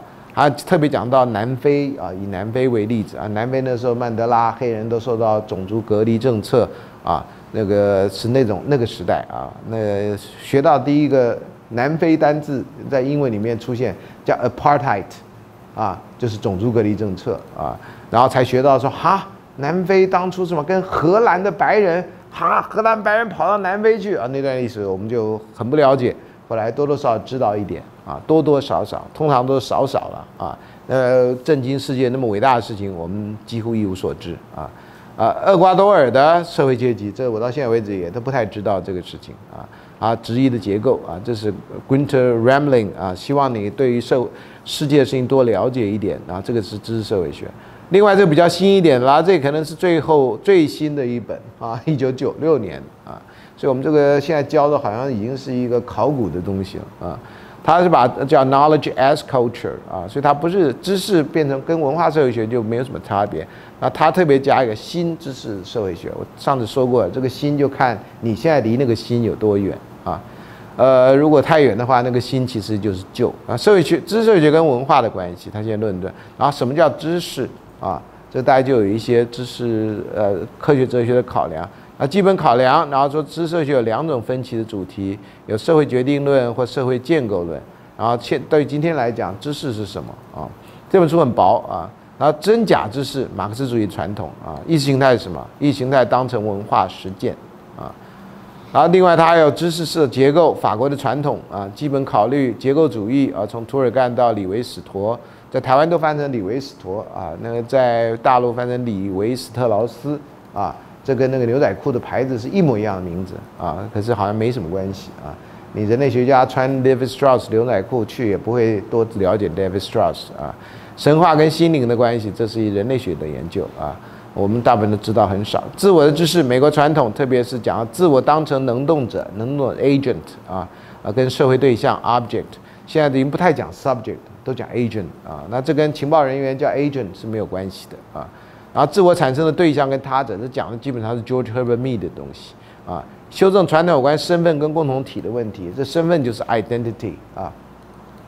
呃，自我后来又不是很流行，就开始大家研究 identity，研究 personal identity、national identity、political identity，啊，politics of identity，啊，就变成这样。像居里夫人就基本上就是一个所谓性别政治的问题。有些人认为她的原名是很重要，可是别忘她的原名也来自她爸爸呀。她就算原来叫做斯托瓦托斯克什么的啊，就算那个那也是他爸的名字啊。啊，然后他祖母的，他祖母的也是他祖母的爸爸的名字啊，姓啊，所以你往前怎么推，呃，这你逃不掉的这个男性中心社会啊，你应该要不然就像钱玄同一样啊，啊，二十世纪初期的中国，他觉得他遗骨啊，他觉得他应该不姓钱，不要受这影响，所以以后就签名啊，遗骨玄同就不姓钱了，啊，台大以前二三十年前吧，一个女老师，也就是因为要提倡女性主义。就不不把自己用不用爸爸的姓了，用妈妈的姓了。那你妈妈姓不是你妈妈爸爸的姓吗？这不是一样东西吗？啊，你以为遮了一层就没看到？你遮了眼睛，外面事情就不发生了吗？啊，那人家有这个立场，我们也不好多说什么啦。啊，我只告诉你说，人有时候做某些事情只是一种宣示性的，各位别太认真，懂吗？啊，太认真了就没什么太大意思了，因为讲不通的啦。啊。好，那性别跟知识的问题，这个特别谈到。我这学期做了一个简单的这个呃讲义啊，大概讲到这个啊，特别是性别歧视啊，就觉得科学里面怎么都没有女人呐，或者女人的科学贡献常常就被遮掩啦。最近不是有部电影吗？讲到太空人登陆月球，在计算机没有发明的时代，是一群黑女人在那做计算的啊。啊，这我以前我完全没听过这种事啊。啊，你看美国多少年后才被挖出来这个？啊，然后那个歧视不仅是他歧视你有这个能力，黑人就已经觉得受教育很少了。你黑人数学还行，拜托你们不就只会唱歌跟运动吗？啊，你看这个故故事就打破了很多这个啊。然后你看那个歧视生生活上的啊，他们厕所要上一个女厕所，你得跑很远，因为没想到那地方是女人会会进去的地方。啊台湾到现在为止还有学校是纯男校跟纯女校啊。那个纯男校的女厕所跟纯男纯女校的男厕所都非常少啊，都只有老师或其他的人来用的。我就觉得到现在为止，为什么高中在这么阶段这么重要的性别成长，甚至要成熟的阶段，你怎么还做这种区区别的工作？就是为了要考好试啊！啊，我以以前还去演讲，我就跟校长们说，或者跟我说，我觉得应该男女合校啊，怎么就男女分校了呢？啊！呃，说哎，家长反对的很厉害，我们其实教育人员都认为这是不对，这违反教育原则。我不敢坚持吗？啊，所有人都，郑老师，等你当了，你你来吧啊！真的，我要当了，我第一件事情啊，我就就废除男校跟女校一样吗？你好的班的人全部北一女、建中就分成两半吗？啊，建中左校、建中右校、建中 A 校、B 校难听嘛？左右可能好一点嘛？啊，一校二校都难听嘛？对吧？所以你就或者建北嘛，对不对？或北建嘛，看你到时候抽签嘛，看谁摆前面嘛，对吧？要不然来一个新名词嘛，啊，就一个新的学校嘛，叫 AlphaGo 啊什么之类的哈，反正看你怎么想啦，啊，所以女性主义当做一种科学有没有？啊？当然，这很多人很反对女性主义的啦，啊，我们的总统现在是呃女的啊，但是有人还觉得穿裙子不能领导国家呀，啊，所以你看这种这种歧视还在的啊，你为什么不就看她做什么，不要管她性别啊，啊？那科学当成文化啊，这个这本这个教科书，如果你真的有一点时间看这本，应该可以收到比较多的那个。另外一个是所谓的人物篇，我们可以看他讲什么人物啊。当然这些人物中间啊，不是他多讲，他讲的都是知识，不是啊。但我们看他讲到知识部分，这是我简单做了一个表啊。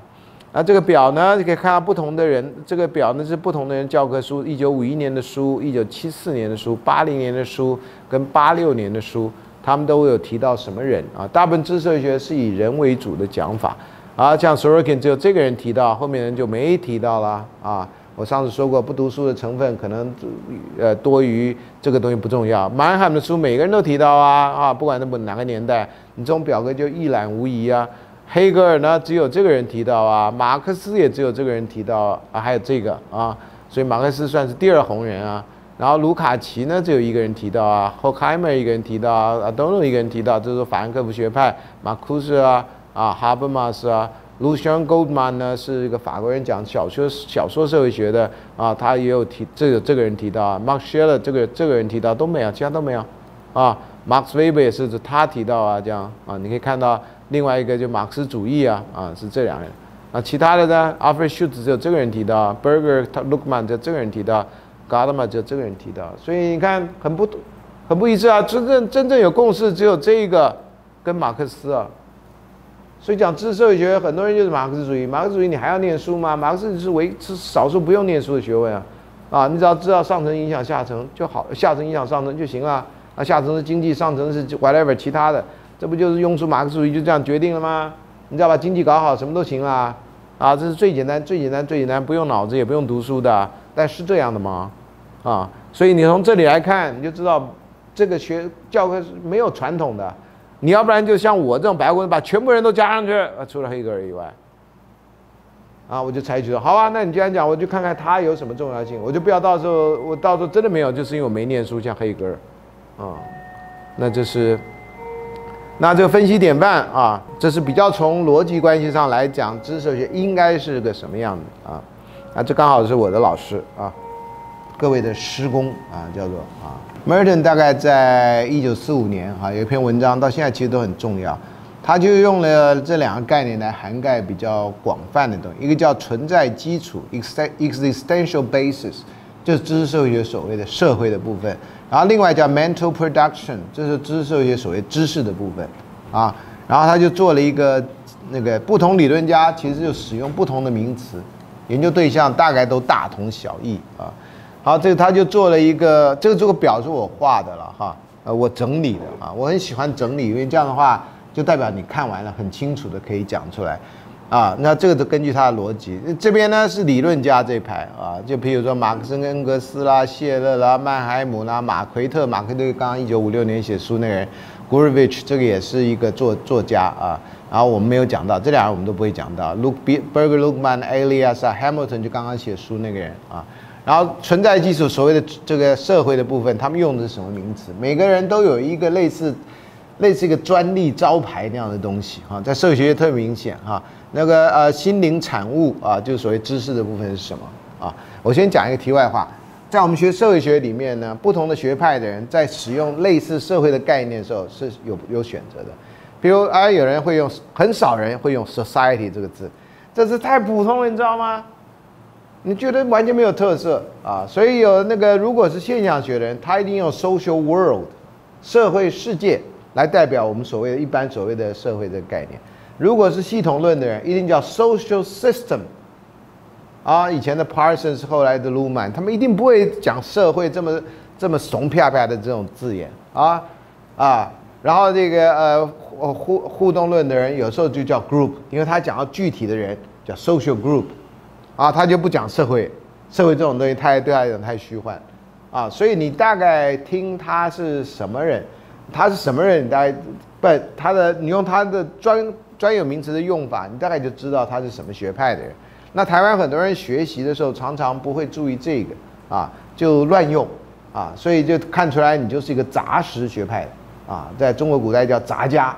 啊，什么名词你都有，然后你也不在乎人家怎么使用啊？你觉得你你在哪里看到这个名词，你就这样使用啊？所以那个社会那个字眼啊是很不一样啊。好，呃，大。部分人都不会用社会这个字眼。简单讲是这样啊，你注意一下啊。那这个呃存在基础啊，就所谓的社会那个，马克思恩格斯就叫 social existence。当然这有翻译的问题了啊。大部分人现在会比较强调叫 social formation，社会形构的问题。这是呃马克思因为那个翻译里面曾经翻译过 social formation，原文不是这样的，所以有人常常强调说，像马克思主义就不用不用社会这个字啊，就用 social formation。啊，所以呃这里讲 social existence，他大概不太知道别的翻译。那意识这个部分叫 social consciousness。那马克思跟恩格斯最有名的话就是存在决定意识。并不是意识决定存在，这是最有名最有名的一句话，啊，那就是这个存在啊，社会存在，有时候加社会决定了意识，不是意识决定存在啊。那我们等到马克思的时候再说啊，我修正了马克思主义的一些看法，这样如果根据他的逻辑来讲，谢勒呢就叫 real factors，啊，把这个存在基础就叫 real factors，然后把这个所谓的心灵产物知识们就叫 ideal factors。Real 跟 ideal 是相对应的两个字啊。那 Myheim 呢用的就叫 existence 跟 knowledge，啊，他用存存在这个字眼，现在大概社会学用的非常少，只有存在主义在哲学里面，啊，社会学里面也曾经出现过存在主义这个学派啊，但是很短暂时间啊。那那这个马马 Marquette 这个人就讲到 social cultural factors，啊，他也不用社会这点，或者叫 social existence。然后这个心灵产物叫 mental production，或者叫 knowledge，啊，有的时候你就是换一个字眼，然后就换一个字眼，有时候是比较没有意识形态的那个，像以前我们都叫空中小姐啊，或者叫做空服员呐，啊，中国大陆叫什么乘务员呐，还叫什么的啊，就是这个名词就会就会讲的好像比较尊重一样啊。以前叫做山地人呐，后来说山地人是看不起别人的，他们有人不住在山地啊。住在山地不一定是山地人啊，就后来叫做什么高山族啊，说不能叫高山族啊，歧视人家，所以叫什么叫原住民啊，所以就叫原住民。那这更早以前还有更大的歧视呢，那就不要讲了哈，教书不适合讲啊，呃，那些歧视都已经过去了啊。那现在还有原民会啊，对不对啊？那天我碰到一个人，他在政府单位做事啊，非常苦恼，不知道做什么啊。我说你服务的你是你的单位服务的是什么？他说希望服务新住民。我说你就建议大家成立第一成立新住民台电视台，老师会有人看吗？我说原民台有人看吗？客家台有人看吗？你这是宣誓性的嘛？那成立新新住民台嘛？有原住民当然就有新住民了，对吧？那你那个就是东南亚的啊，你就有节目东南亚的节目，那个我们台湾的新住民或者劳工。外国外籍劳工就可以看这些节目啦，他可以看到他家乡的节目啊。你可以有一个小时是越南的电视剧啊，啊，你可以有一个小时泰国的电视剧啊，然后一个泰国的新闻、东南亚的新闻啊，来告诉他你可以转播新加坡的 Channel News Asia，啊，那是报道那东南亚的新闻，我们台湾很多人不知道的。像这次台风经，反正不经过我们那儿，我们就不太报道了。然后香港其实澳门都淹得很厉害啊，在大陆广州呃珠海的地方淹得很厉害啊。这怎么就不报道一下呢？啊，我们就不报道啊。那越南呢？万一有台风，我们也不报道吗？有人的家乡啊，别忘了。我们现在很多的呃这个地方的人是取的是新住民的那个。我说就新住民台，啊，呃，然后这个他就听完说，哎，真的耶，我是可以做一些事情啊。你要不要做呀？我说你知道新住民的人数比原住民还多哎。新住民是多少？几十万呢？原住民好像有没有上万，我还不知道。反正就从人数来讲啊，是相对人是比较少。当然人数不是最大的问题，我只是强调很多事情还是可以做的啊，看你要怎么去想这个问题啊。当然我也不是政府官员了哈，我提完了他会不会能做，能不能做我也不知道啊。我只是刚吃完饭跟他聊天而已啊。好，这 g o v i c h 的人就叫 social framework 啊，然后叫 knowledge。那他的书名好像英文翻译叫 social framework of knowledge 啊。所以这个社会架构的问题，我刚刚说过那个呃 a l b o x 的那本《On Collective Memory》，原名也就就翻成翻成英文应该也是 Social Framework 的意思啊。然后 Berger and Luhmann 就叫 Social Construction，这是一九六四年他提出来，后来 Social Constructionism 加上 Nism 在社会心理学界、在社会学界就几乎变成常用的名词，什么东西都跟你讲，这就是社会建构啊，已经通俗到几乎不必解释。然后他这个所谓的社会，它就叫 Reality。啊，reality 有翻成现实，有翻成实在的了啊。可以发现实在好像是一个具体的东西，这个 idea 就是 social 所有的 reality 都是 socially constructed，就没有那个具体的东西，是被建构出来的东西，无中生有的东西啊。Elias 这个人，或者也可以念 Elias 啊，看你是英文念法还是美国念法啊，或或者德文念法。那他他叫 structure of human groups，啊，他就不讲 society，也不讲前面这一些，叫做 human groups 啊的 structure，然后 types of knowledge，基本上还是 knowledge。Hamilton 呢就用 social structure 跟 knowledge，他的书名就是这样，啊，所以知识社会学，你如果从这个来看，这个区分是很清楚的，啊，呃，只是用不同名词而已。那社会分析架构啊，Merton 的整理啊，他做了一个一九四五年啊，这就根据前面的这个整理做了一个 paradigm，他认为所谓的 paradigm 就是你研究知识社会学就是这几个问题要问。你真的要写论文，如果用知识学方法，大概就这几个问题要问，啊，那这个里面的名词是他整理的，当时用有些人用过的名，就所谓的心灵产物，所谓的知识这个部分的社会基础是什么？你要研究心灵产物的什么？譬如说社会就是社会位置，这现在那个呃不就用的很多，那个你的位置在哪里？社会上什么位置啊？研究你的知识的问题，你可能位置不同，你的知识会不太一样。最高领导人啊，在美国拥有核战的那个号码，我们大部分人没有啊，所以他的社会位置不一样，你看到世界是不一样的啊。我们的最高领导人啊，会知道两岸的一些更机密的情况啊，理论上情报工作做得好，那跟我们所知道的是不一样的啊。我们在台大不同的位置所知道资讯是非常有限，阶级也是一样，你是什么阶级的人，你对于那个情况的了解。啊，像你曾经干过某些工作，你跟某些人在一起过，你对他讲的话就比较了解啊。像我们这种呃知识分子啊，在学校里面，我们这也不是有钱人，就不知道有钱人怎么活的。我们也不是那种呃中下阶层，也不太知道中下阶层怎么活的啊。呃，所以这个有时候要看书啊，才大概知道他们是怎么活的啊。现在描述中下阶层的人的生活的书，比描述有钱人的书要多很多。所以常常有钱人，你是从电影上看到那种荒淫啊、无度，那有钱人真那样吗？那样早就垮了，不是吗？当然有那样的人，但一定还有那种也很勤奋的有钱人。我相信啊，世代 （generation） 啊，这个世代现在用的就很广泛。以前说三十年一代，现在哪是三十年一代啊？现在很多行为大家跟手机一样，每一年一代啊，甚至说，哎呀，这是我们那代人的回忆啊。呃，有的你根本就没有回忆啊，像我们那个时候，大家的资讯很少，都看电视，电视只有三台，那那回忆真的是比较比较集中。你们现在看的东西很多，你的世代回忆可能会很大的差别啊。职业的问题，职业角色啊，你在哪个职业，你对某些事情了解也会不一样。生产方式啊，然后这个群体结构啊，比如大学课程体制、学院、教派、政党啊。呃，我们在台湾的现状，当然对政党的很多事情相对比较了解。历史情境在什么情况之下啊？譬如说，在高压的情况之下，很多知识是不可信的。高压情况之下所写的那种公词啊，譬如说台湾在这个美丽岛事件的时候啊，你不要写的自己的罪状啊，或者这个传说历史上有李自成所写的罪状公词，那个到底可信度有多高，都是一个问题啊，因为那个是历史情境。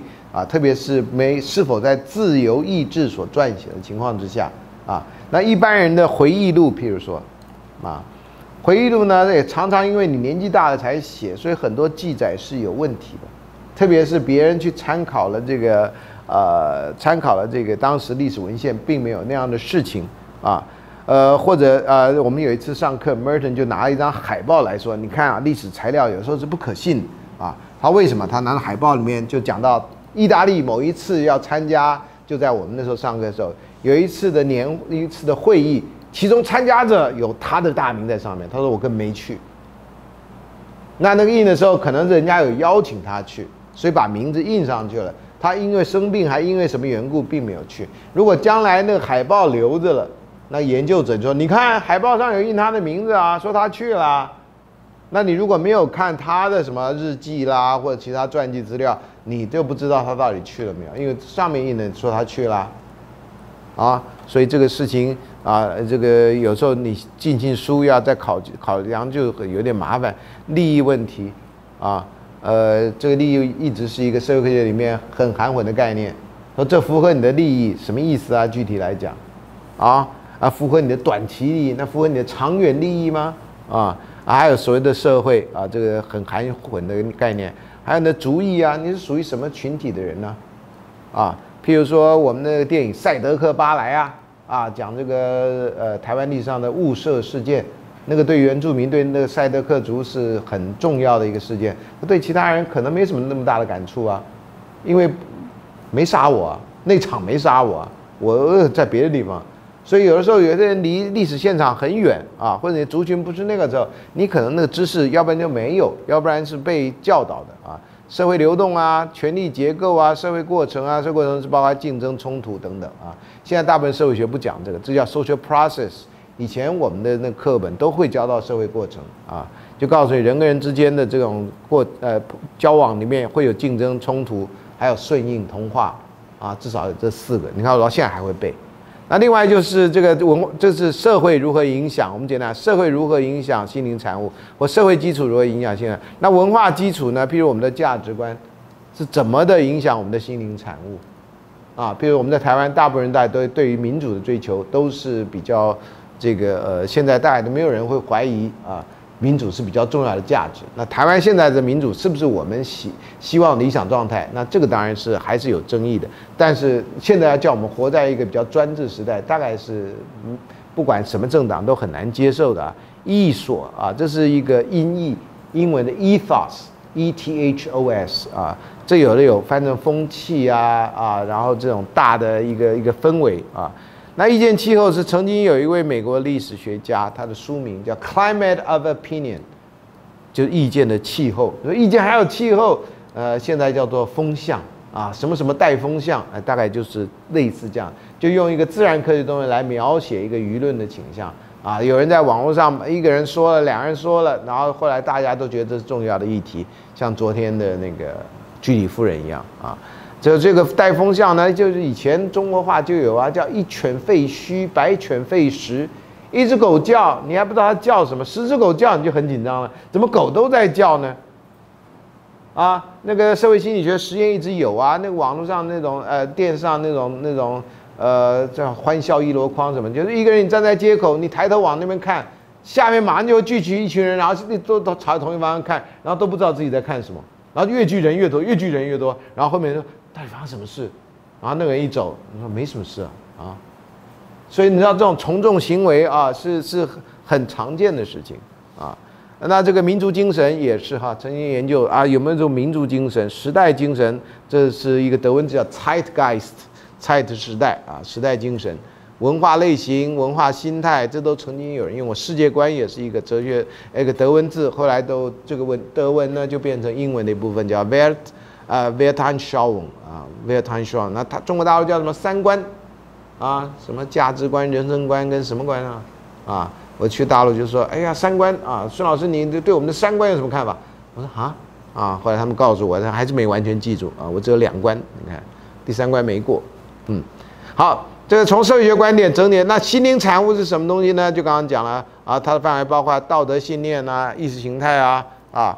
什么叫思想啊？思想的范畴啊，哲学啊，宗教信仰啊，社会规范啊，实证科学、科技等等啊，这个在我们呃等呃课程里面就慢慢讲到。你看这些人讲到的心灵产物是什么？另外呢，就是分析方面，你是选择有哪些焦点来分析啊？啊，你是分析什么东西啊？抽象层次啊？你在分析的时候是在哪个层次啊？有什么预设啊？这个语料呢？英文叫 given。啊，就什么东西是你接受为真的，也从那里开始的啊啊，哪一些变成研究主题啊？那呃，以前我们在学科学社会学的时候，都会教到叫 focus of attention，你的注意焦点的问题，研究焦点。为什么现在流行这个啊？在科学界的流行啊，跟这个呃呃日常生活的流行是差不多的啊。科学也会有说，哎，现在流行研究这个题目，你研究这个题目比较容易申请到钱。啊，社会科学后来也慢慢有，所以这个你要跟着风向走，也是一个很重要的呃学术的这个呃训练啊。呃，如果你都走跟人家不一样的道路啊，那真的是蛮寂寞的。你要找到钱也不太容易啊。不过不是不可能的啊，学术有时候就这样的好处。另外，它概念内涵、验证模型或知性活动等目标等等，这些都可以是心灵产物的部分，啊，所以有点像那个角是自变相，这个就是应变相。如果我们一定要要用一个分析，然后第三这个部分就心灵产物跟那两个关系是什么？啊，我们社会科学研究是这样，你的一个主要名词做了界定以后，接下来就是分类。分类以后又是这几个类之间有什么关系？这才完成一篇论文的一个那个。常常只有分类，没有讲明关系。啊，我现在正考虑要，因为在看波丢的那个艺术的法则啊，在看弗洛拜的这个小说，我考虑要不要来一个我自己的研究，然后我指出他的研究什么问题，一个对应这样。我跟弗洛拜的生平跟弗洛拜的小说对应，波丢研究弗洛拜跟我研究弗洛拜。所以有三个层次，这种对应啊，因为最近中秋节了，有这个呃吃月饼啊，有的月饼是很多层的啊，所以一边吃就想到，哎，我可不可以来玩那一个这个游戏啊？这样啊，我虽然不一定研究比他好啊，但这个想到自己可以做这件事情就蛮高兴的啊，因为看到不对没有看到的东西啊，但人家是世界级大师啊，那我算哪颗葱呢？啊，我我就那颗葱好了。啊，不管哪颗葱，我就那颗愿意去做的那颗小葱啊，就这么想。好，所以两个关系是什么呢？这关系通常就是第一个因果关系，或者叫功能关系。这功能关系就是一个函数的关系。因为 function 这个字呢，在数学里面就是函数，那翻成这个社会科学就叫功能，其实同样的意思啊。就它可以看出 A 变化以后，B 跟着怎么变化啊？那我们讲因果，通常就是功能关系上面加上三个条件。第一个就是发生在前，第二个就是两个关系不是假的啊，是真的有那个关系。第三个是什么来着的？我去以前这是我研究所考试因果关系跟相关的差别啊，有三个啊。你看我又记得两个啊，你反正你们现在学到，对吧？一个没一个是前后嘛，一个是呃不是虚假关系嘛，还有一个什么？哎，还有相关，对，要把相关包在里面啊。那相关通常都是高度相关，对不对？啊，不是一个很轻微的。好，所以呢，我们看到很多名词用的是非常含混的哈。决定，什么叫决定？啊，什么叫这个是什么的原因？这个复印是 correspond，啊，因为在那个马克思的那个英文翻译里面，有一些就说是 correspond，就不是这种决定。那到底是因为修辞学的原因，换一个会比较好听，还是因为它的实质内涵是有不同的啊？复印就比较像是比较含混的相关。然后这个决定呢，就是比较确定的因果，是不是这样的啊？那什么必要条件啊，充分条件对吧？还有充要条件啊啊，然后这个制约啊，什么叫制约？condition，啊，制约跟决定又有什么差别啊？啊，什么叫功能互赖？啊，这都是有些学者用过的。什么叫互动？那上面互相影响，有的就叫交互作用。在呃统计上，在台湾特别 interaction 这字在统计上就翻成交互作用。如果是在一般社会学都翻成互动，啊，这个是翻译上有差别的啊，就是两个因素之间彼此的影响。那依赖这个依赖那个，那这个什么意思呢？这词都有人用过啊，意思代表是一样吗？到底讲的是因果还是功能关系呢？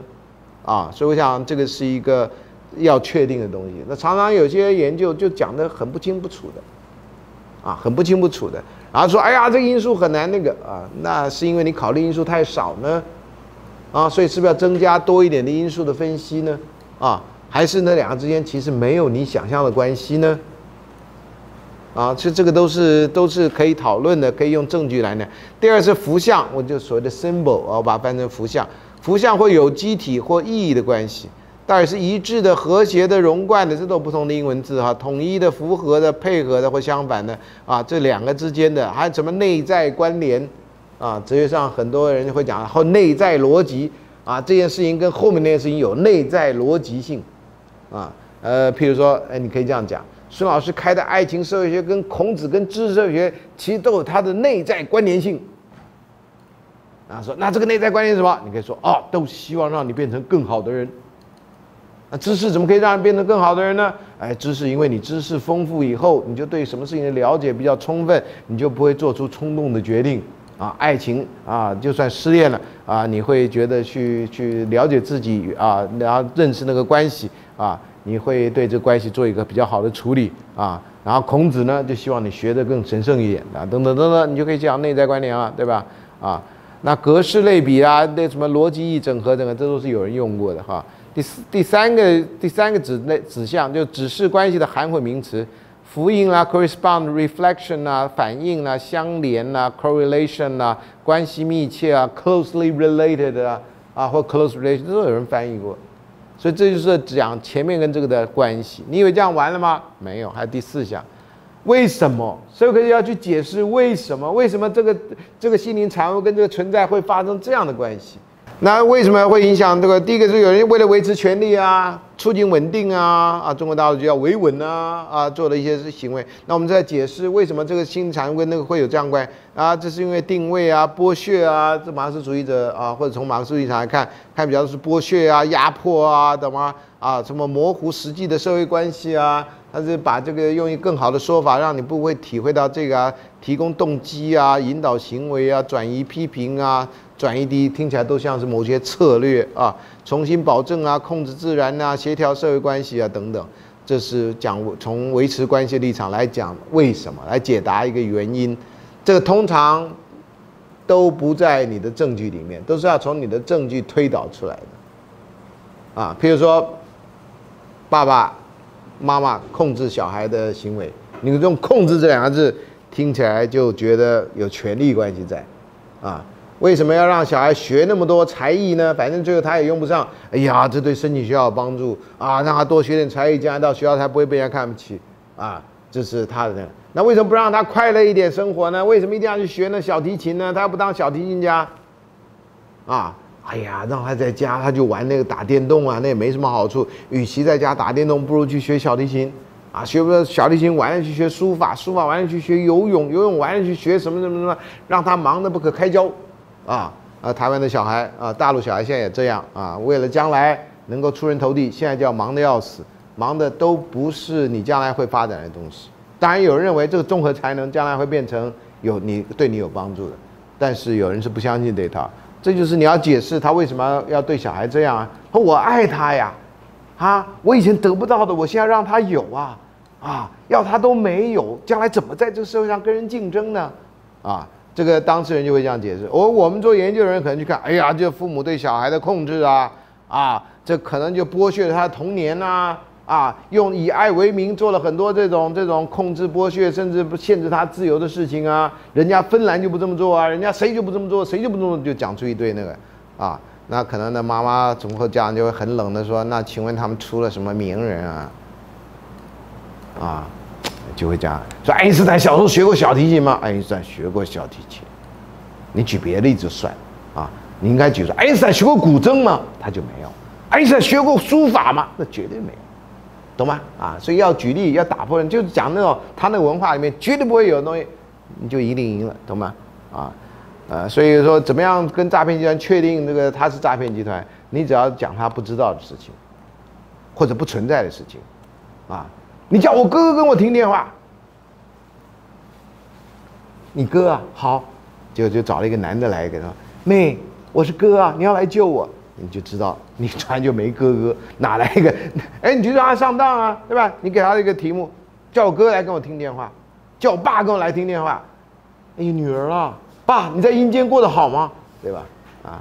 那 这这就尴尬，对吧？所以你讲有的，他可能会懵到；你讲没有的，他还做，你就知道啊，因为他不会觉得你一定会找一个没有东西来嘛，啊，所以这个是我诈骗社会学啊学到的，要跟怎么样跟诈骗的人啊，也就是确定他诈骗，你就讲没有的事情，他能掰出有，那你就知道他是绝对是诈骗；有的事情可能会蒙对，没有的事情掰出来，那就一定没有的。好，存在基础跟心理关系何时取得，这是一个时间的问题。所以你做历史研究的话，你就说啊，什么时候出现这样？比如说中国历史上的科举制度，科举以前没有，啊，那科举是选拔人才的，啊，那你说好，隋唐以前怎么选拔人才啊？魏晋南北朝九品中正法，啊，不是靠考试的。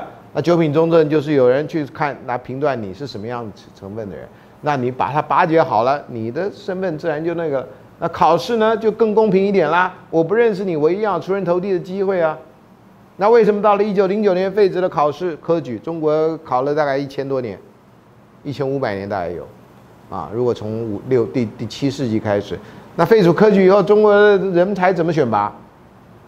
留学啊，啊，最后又不得有国家考试啊，所以中国人离不开考试啊。我们考了一千五百年啊，什么事情没发生过啊？所以教知教知识社会学，如果将来用那种方式教，就一定要有一章讲科举制度，啊，科举制度所受的影响，好正面跟反面。另外就一般的分析，不特不含历史的啊。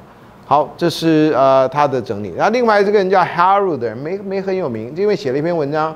啊，讲这个关系那差不多，你看啊，这里我就没翻译了。这 ideas represented，他讲的这个就是心灵心灵产物啊。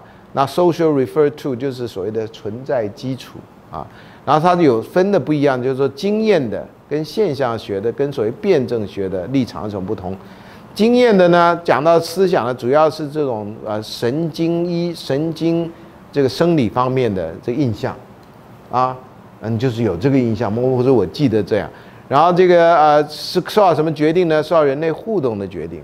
有时候呢，我们的某些记忆是可以被创造出来的。啊，各位现在年纪离你小学还近啊，你要创造记忆不太容易。我们这种年纪的人要去参加小学同学会就非常尴尬。某甲就会记得你，孙中兴啊，你记不记得啊？我们小时候都一起去怎么样？你完全不记得，他蒙你都不记得。他讲真的，哪你怎么会不记得？那还有谁谁谁谁谁谁谁谁谁，他都可以讲出名字，可你完全没有印象那件事情发生过。啊，当然你这时候很容易发生过事情，你完全否认，懂吗？因为到这个年纪，你是可能记不住的，他是可能有假记忆的。啊，所以政治人物大概都不太参加同学会，参加同学会大概就是说有吗？有吗？你记错了吧？那是谁谁谁吧？这样啊。啊，这个你们这个时代啊，你们这个年纪，这个情况还不太会发生。在我们这个年纪，参加同学会就是一场大的这种表演，懂吗？啊，要把自己过去的这，你不是以前追他吗？你还写一封信给他，哪有哪有？不要乱讲啊！啊，嗯，所以有的都没有的，没有的也都有的啊。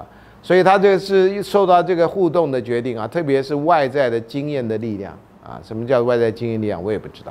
好，那现象学的做法是超验的啊，transcendental。就不需要经验的啊，这个这个呃，超出经验之外的啊，这就有有有时候有神秘的东西在里面，categories of consciousness，所以意识上面的这种所谓超验的这个范畴啊，这是现象学所关心的东西啊。我们会讲到秀词的时候，你看看，我尽量讲我懂的哈，我不懂的我也没办法啊。conscious mediated human interaction 是受到互动的影响，这跟这没有太大差别，只是他强调这是在意识上啊，mediated。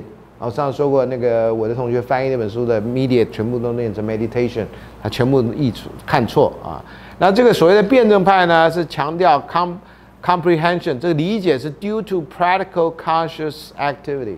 你的理解是因为你有实践的意识的这活动啊，这是代表的思想。你要研究这种东西，然后呢，也是一样 patterns of human interaction as a result of practical conscious activity。Directed toward historically conditioned human need，这些人类的需要啊，受到历史限制，人类需要，然后规约了这个实际的意识的活动啊，然后再产生的社会。所以他用的是很长啊，就是至少啊，不像这些用的。所以这是三个主要的流派啊。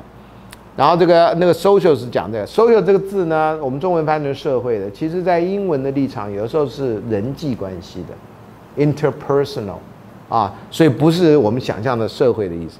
那这所谓的社会，这个 context 中文通常在台湾通常翻成脉络了啊，然后中国大陆有时候翻成语境了啊，这有时候跟语没关系，为什么要语境？我就不太懂啊。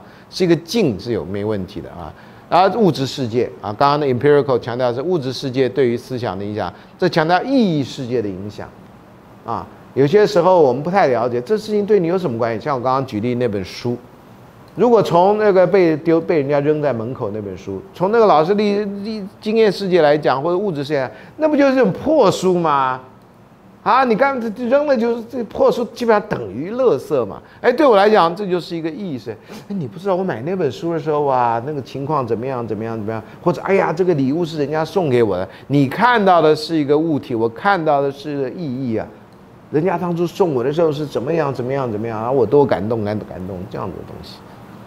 再来看是个杯子，再来看我记得是谁从哪里寄来，我有赫尔辛基杯呀，赫尔辛基多远呐？他就当场买了，就找了附近一个邮局就寄来，啊，他去欧洲那一年买了赫尔辛基杯，到南欧就买了巴塞隆纳杯，我都没去过的地方，我有那杯子，还有匈牙利杯，啊，我都没去过的地方。Relationship between ideas and social content 也是一样，这两个之间到底有什么关系啊？这 idea 呢是，你看这个箭头是往上，这物质世界影响 idea，这跟所谓下层决定上车基本上是一样的。Ideas affected by the material world，这还需要讲，这个意思很简单。哎，这就是一个双箭头，表示两者之间是相互影响。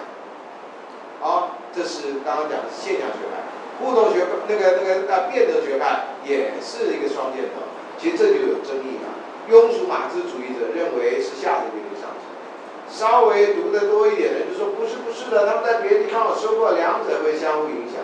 我写了一本小书，告诉你这个不同的时代，他们到底都讲些什么。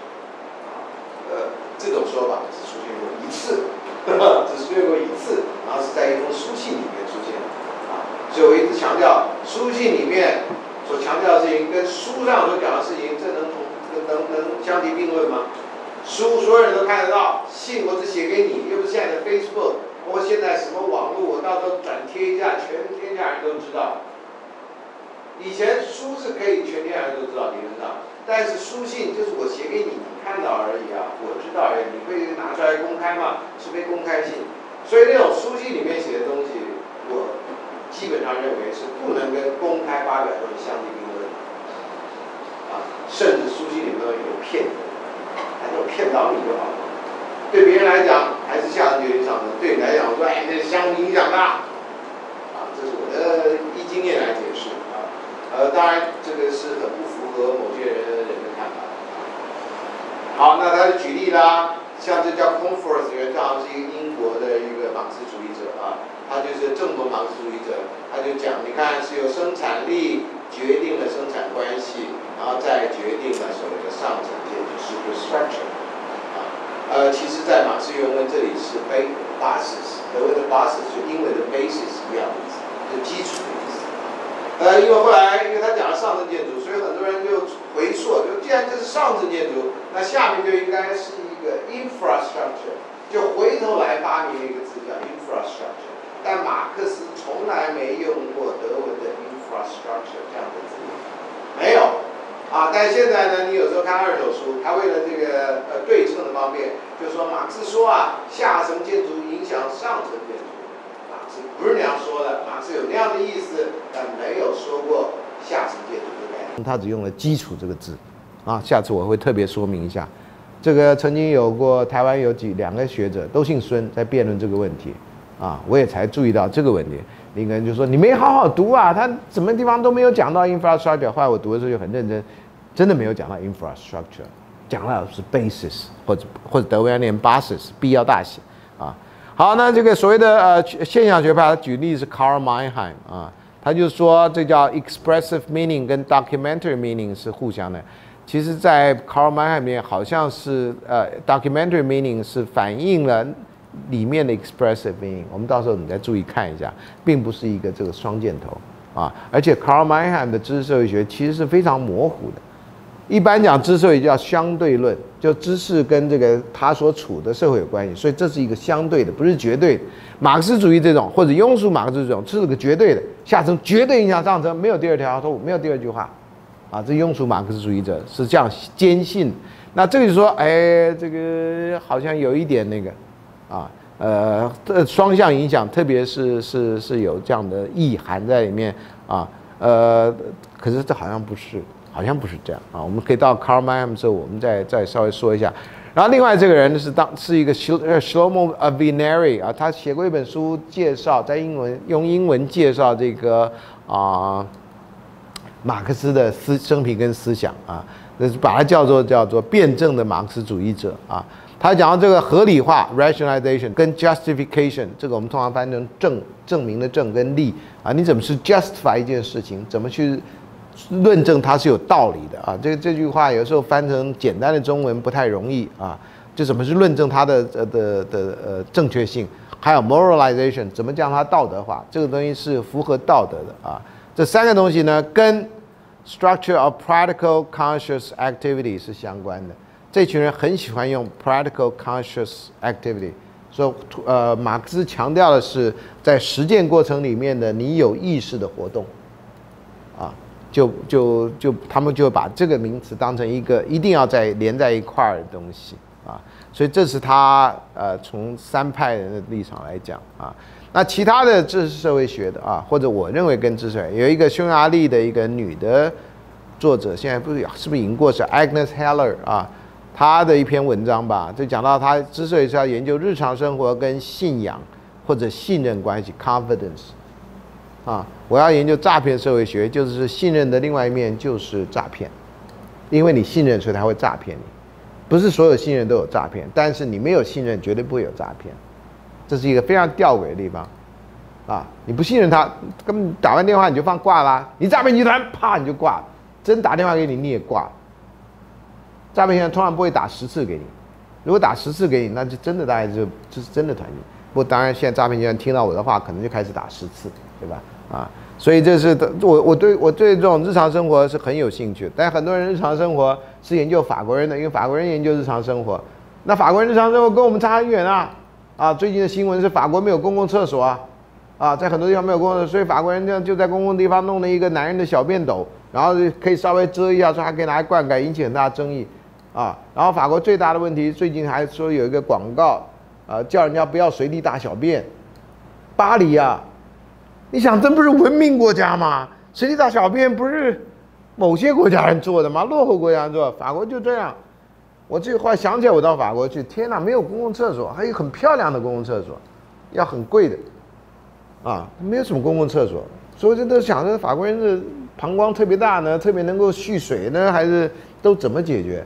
我们在纽约啊，我那时候住很久，所以有朋友来，我都会告诉你，到哪里我们游览完了就哪里上厕所。纽约的捷运站不能上厕所，那都吸毒贩毒的地方，不能上厕所。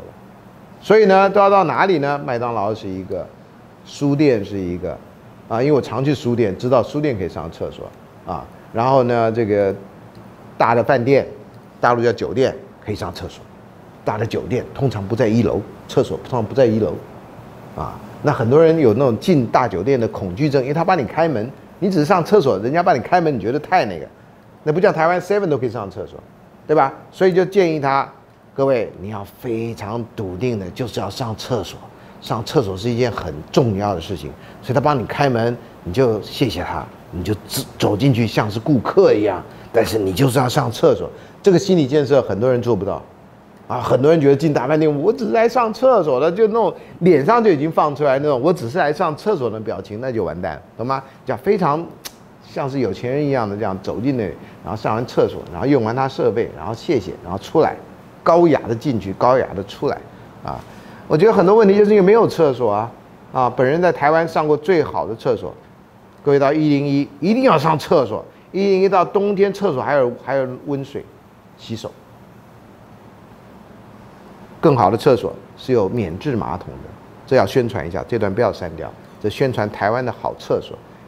去大饭店，特别是福华饭店，福华饭店日本客人多，它的所有马桶都是免治马桶，可以冲水的。啊，这不是替福华饭店广告啊，其他饭店应该也是啊。那真的上厕所是个享受啊！你想在那边要做那么卑鄙龌龊的事情，不是卑鄙龌龊的事情啊，总要做的快乐，做的轻松，对吧？不要有一堆人在门，而且他都是坐式的，不是蹲式。蹲式的老外受不了，我们年纪大的也受不了，啊，他坐式的啊，所以这个顺便说一下，这日常生活哪有日常生活不上厕所啦，对吧？啊，我有一阵子对于厕所屎尿非常着迷，啊。人类，你知道吗？这个现代这种卫生设备是十几世纪事情。以前巴黎什么的那国王打开窗子都不敢打开，就是臭气就冲天了。伦敦街道都是那个都倒倒粪水的。你如果看这个恩格斯所写的啊英国工人阶级状况，他就告诉你工人活在那种真的没有公共设施的地方，所以公共卫生上面厕所下水道是一个非常重要人类文明的发展。然后那个疾病因此减少，就跟这个是有太大有很大关系，可不要小看这个问题。好，他这边有讲到，回到这个 Agnes Heller，信仰针对的特殊性跟信仰针对个人人格整体啊。我们没有，大部分台湾人没有宗教信仰，大部分中国人好像也没有这种信仰。我们那种老天爷信仰，有的时候是非常交易性质的啊。所以这个跟西方人的那种呃宗教信仰、国教的真的是有一些有一些差别，不是说一定怎么样了啊。好，那第二个叫强调知识的长期发展跟相对自主性。相对自主性说它不是完全受到别人的控制，这是摆脱了所谓的这个决定论。啊，进入了所谓的相对论。那 Elias 这个人是这样，他的文章真的不多不长也不复杂，但就不太懂他在讲什么。啊，我这是我的问题，我就今年再看看能不能懂。知识长期的发展，他就因为强调历史嘛，它有文明的历程。那文明历程都是不是一年两年的算法，都是几百年的算法啊。那个 civilization process 或 civilizing process 是他的很重要的著作，现在也有中文翻译了啊，简体版。啊，然后知识类型跟人类群体结构的相对自主性，所以他就不强调是一个决定论啊，你什么样的人群团体会有什么样的知识类型，啊，这个一般人的生活经验里面也有啊，说啊你是读书人啊，你怎么知道我是读书人？哦，你是大学教授，你怎么知道大学教授？然后看你的穿着，看你的打扮，看你的什么啊？像我的穿着常常会让很多人很困扰，因为我的胡子是白的，所以应该年纪很大，但穿 T 恤。看起来又好像是年轻人的事情，啊，他不知道有些穷人也是这样啊。然后呢，这个穿这个，然后这身形又不像是老人的身形，啊，所以我到中国大陆呢，很多老跟我同年龄的教授，每次都问我你哪一年的？我要五七年的。这怎么就五七年？你看起来又年轻又老啊，胡子啊，大陆同年的没有人留胡子的，啊，你留胡子又白的，看起来都像他们老师，啊。可是呢，我的这个穿着什么又又比又看起来他们是我老师，啊，所以我的身上就很多这种复杂的东西啊。他们大部分人都穿西装裤，穿着一件衬衫，啊，那就是大学教授了啊。他们也不太打领带啊。他说台湾来的教授都是打领带的，你看我又不打领带，那我又台湾来的，所以只要台湾来的教授的形象摆进去，我就不算，啊，所以这个对他们来讲相有有有相对的困扰啊。所以这是 Alias 的。另外呢，还有这个叫 Henrika Cooklick 的人，现在也都没有在做什么。以前的文章里面常常看到，他就强调是客观文化跟 contextual contextualism，要看脉络来来说的啊。那这客观文化什么呢？宗教、艺术、科学、政治思想，这不是就是上层建筑吗？哈，这些只是他用不同的名词来代表这个东西。那脉络论呢？这了解行动者特殊的历史环境的脉络，才能了解行动者的意图。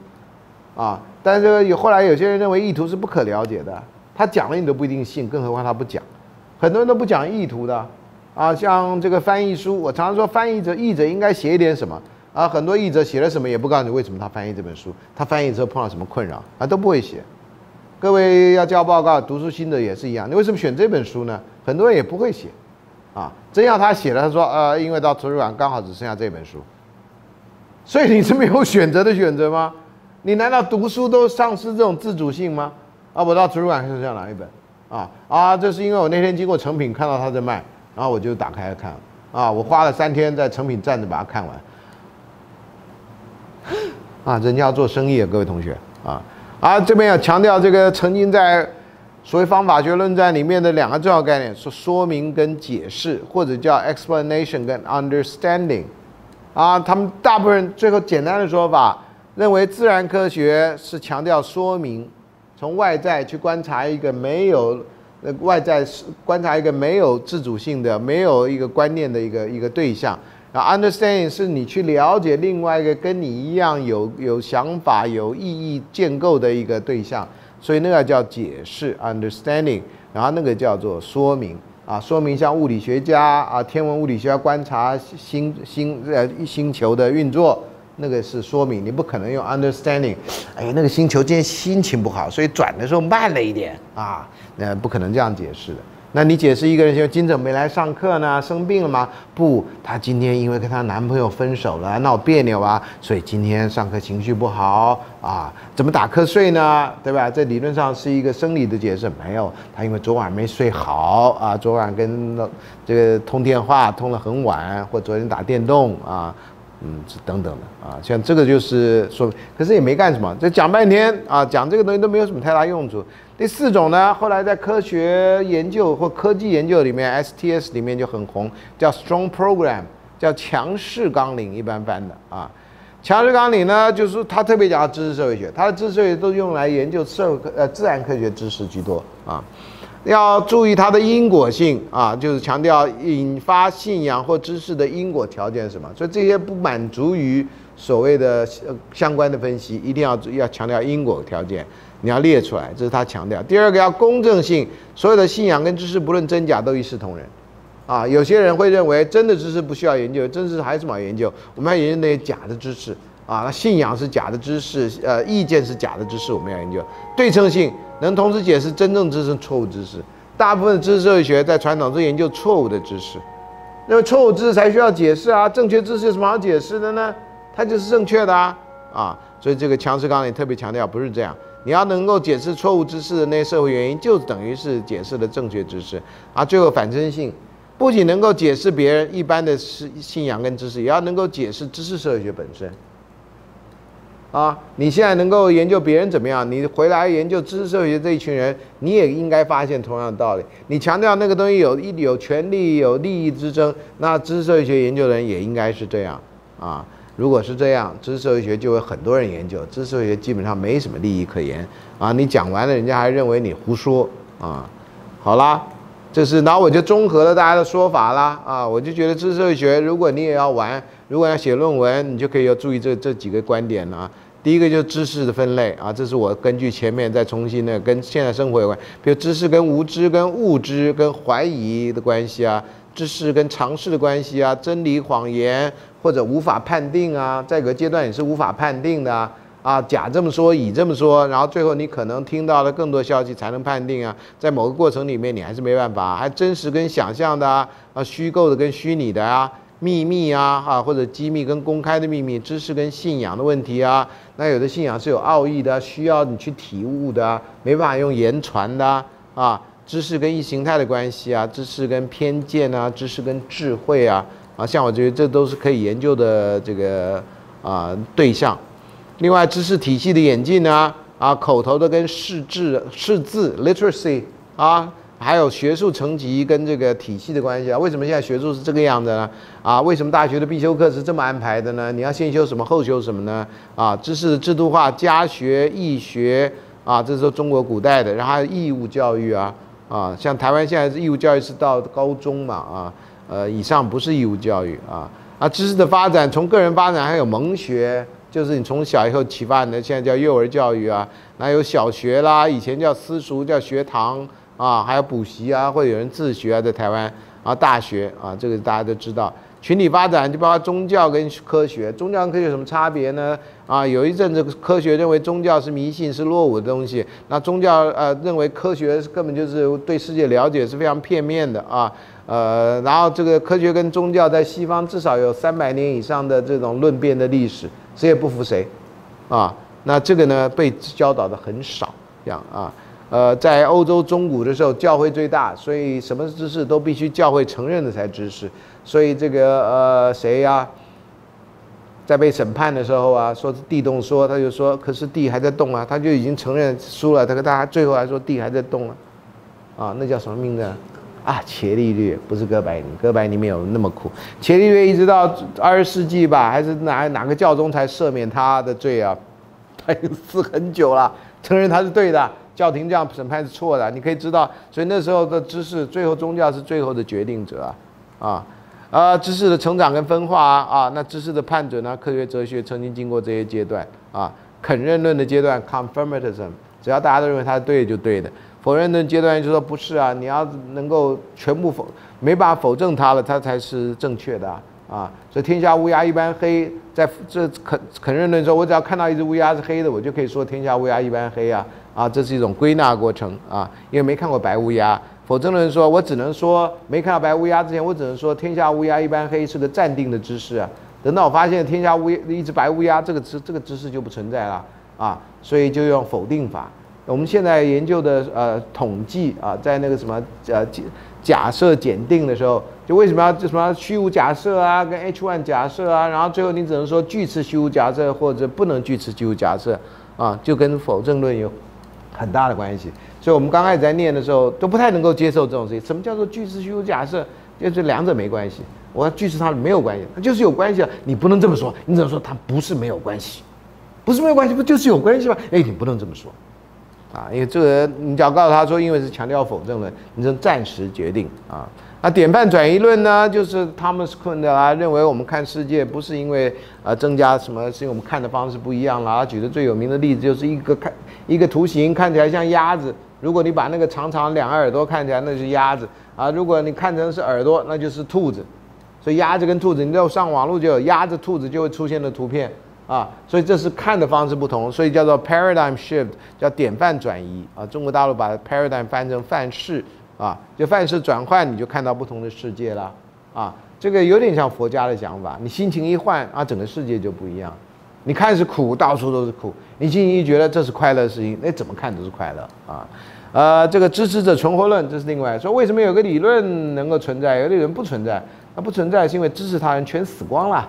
你听起来很像是路人甲讲的话，不，这是一个这些科学哲学家讲的话，啊，说等知识者死光的时候，这个这理论就垮了，啊，呃，知权力与跟知识的关系，啊，这也是这个福寇讲了很多，其实最早是培根讲的，那这到底有多大差异的问题？另外，这个制度面啊，传统跟创新的问题啊，这是一直每个文化都会有记忆的制度啊，包括口传跟寄送啊，结绳记事啊，书写系统出现啊，有史官啊、仪式啊、文献啊、纪念碑啊、啊影音资料啊、密码呀、文化遗产，这都是可以研究的。所以知识社会学可以研究东西是非常多的。另外的还有创造的传统啊啊，譬如文化传承制度、家庭教育、学校、职场、媒体、图书馆、档案馆啊、博物馆、纪念馆、网络资源。啊，像各位现在都相信 Wikipedia 不会错，那 Wikipedia 常常有啊要求来源啊，告诉你他其实还不太确定呢。啊，有多少人去给他要求来源啊？我常常建议这个博博士班的学生或者台湾的这个 Wikipedia 人就应该把全世界博士班学生找去啊，好好的这个把 Wikipedia 的东西做一个修订，给人家钱啊，不然的话叫路人甲就随便去修，有什么意思呢？啊，学术的研究最新成果，应在博士班学生会比较认真知道啊。老师太忙了，也没时间弄这个。考试制度也是啊，啊，也是一个制度。印刷出版、网络资讯、宗教主导知识、政治主导知识、知识的偏差行为，譬如考试作弊啊、学术上造假跟剽窃啊，啊，plagiarism 有一个字啊，像这些都是制度很重要的面可以研究。另外就人群面啊，年龄的问题啊，什么年龄人的什么知识啊。啊，古代社会因为是农业社会，变化很少，所以老人家为什么受到重视？因为老人家的经验可以传承，因为那社会变化很少，他碰到事情对你来讲也有帮助。这个时代常常不是这样啊。这个南京大学现在可能转到杭州大学去了，是吧？浙江大学就在杭州啊。那周小红老师就写了一本书叫《文化反哺》，他说现在知识常常是年老老一辈人要跟年轻一辈人学，像电脑的问题，年轻人绝对比老人家知道多。啊，所以老人家有的知识基本上在现代社会是完全用不上，所以老人的无用在现代社会跟古代社会比起来是很明显的，因为社会变化太快，啊，所以像这个老人的知识啊，跟这个年龄的问题就会有这个新时代的新的意义啊。那性别也是啊，啊，知识的性别知识问题啊，像我们以前没有同性恋的概念。啊，我念大学的时候就男跟女啊，现在有跨性别、同性恋啊，有很多非常复杂的东西。以前你可以骂人啊，现在不能骂人，骂人他要告你啊。呃，有很多话是不能用的啊，以前是都在用的啊。你骂那种人啊，呃，现在不能用了啊，所以我也不能说啊。啊，阶层也是啊，不同阶层的人啊，这个在从马克思哪里都会注意到阶层跟知识之间的关系。族群也是啊，原住民对于打猎的知识就很丰富啊。你叫他要念历史，要念课本这些东西就没办法了。如果我们的教育教那个呃课纲是由原住民来去决定，那我们今天要穿着跟我们要学的东西都是不一样的啊。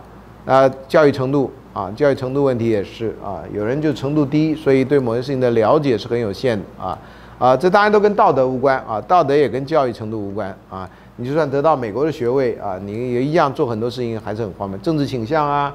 这个现在在台湾是最明显的啊啊，你是什么样倾向的人，你大概就猜测他会做什么样的事情啊啊，宗教信仰啊，人际网络，还有知识达人跟大众的问题啊。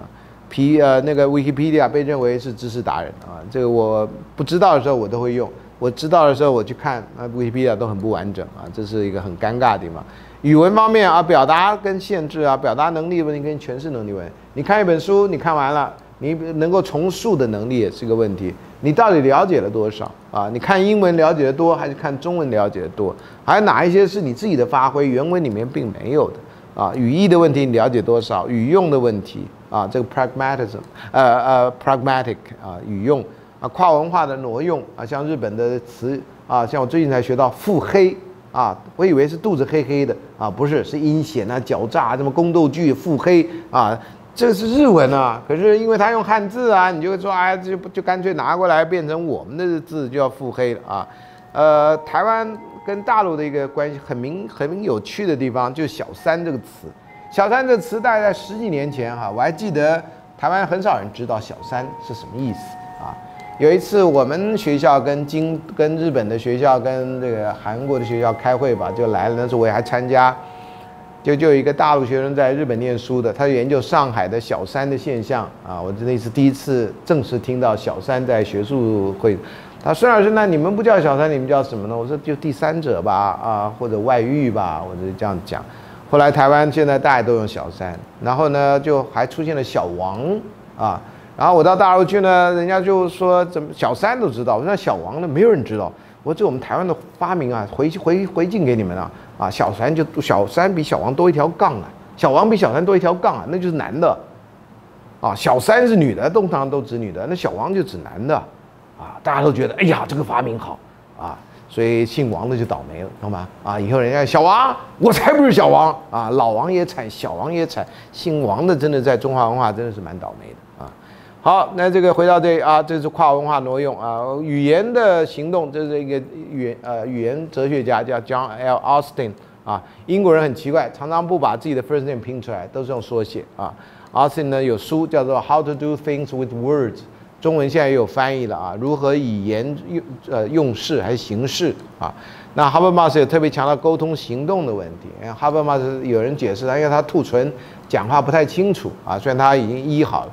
啊，嗯，老先生还在写书啊，那就是说他因为自己在语言的表达上面常常出现障碍，所以他对于这个沟通行动就特别特别有兴趣，这样啊，呃，不完全是这样的而已了啊。好，另外时间向度哈变迁，刚刚讲到有一些观念哈，因为时代的古今的问题、内外问题啊，那这是时间向度跟空间向度，我们以前就叫古今中外了啊，大概可以这样子的理解。所以总结呢，知社会学就是五大关系的。五五大要素间相互的关系啊，我这边还有一个理想中的爱呃知社会知识社会学三部曲。我的爱情社会学从一门课发展成三门课，同样的逻辑啊。我的爱情社会学原来是爱情社会学那个部分原来是没有的。我最早的是爱情与社会学理论啊，知识社会学现在也是最早是知识与社会理论，然后加上历史向度以后呢，我就会有知识历史社会学。然后再把这个呃知识跟现社会现象的研究放在一起，会有知识社会学。所以现在讲的知识社会学其实是知识与社会理论，啊，如果假以时日，我就会像我的爱情社会学一样三部曲。知识社会学呢，就会讲到刚刚讲到前面讲到知识的那几个部分，啊。呃，还包括的知识跟家庭、跟制度的关系、跟文化的关系啊，还有知识本身跟人群的关系啊。如果知识社会学就有这三个部分来讲，那知识社会学呢，就会把中西历史上、思想上啊重要的知识讲一下。因为这个里面有个 Peter Burke 有本书叫做《知识社会史》啊，他讲的是欧洲的情况。因为现在全世界的著名的学者大概都只能讲西方状况，很难讲中国状况。啊，中国学者如果不讲中国状况，请问西方人怎么去了解中国状况？除非有些汉学家做，啊，那为什么不能够中国人立志要写一些能够跟世界对话、接轨或者帮助我们了解更多的著作呢？啊，所以上课是一个启发，那重点是在于全人类的了解、相互了解，而不是单向的、不对称的这种了解。所以知识社会学，我的知识社会学有一个这个小小的理想，啊。呃，可是理想有时候真的知识的累进真的很慢啊。我教了三十年，你看才有这么一点小小的一个一个一个一个进步啊。人类的一一小步，我的更小的一步啊。所以这是呃这个感慨啊。呃，所以三呃理想中三部曲就这样了啊。所以以上是今天的课程啊。那我们就先上到这里。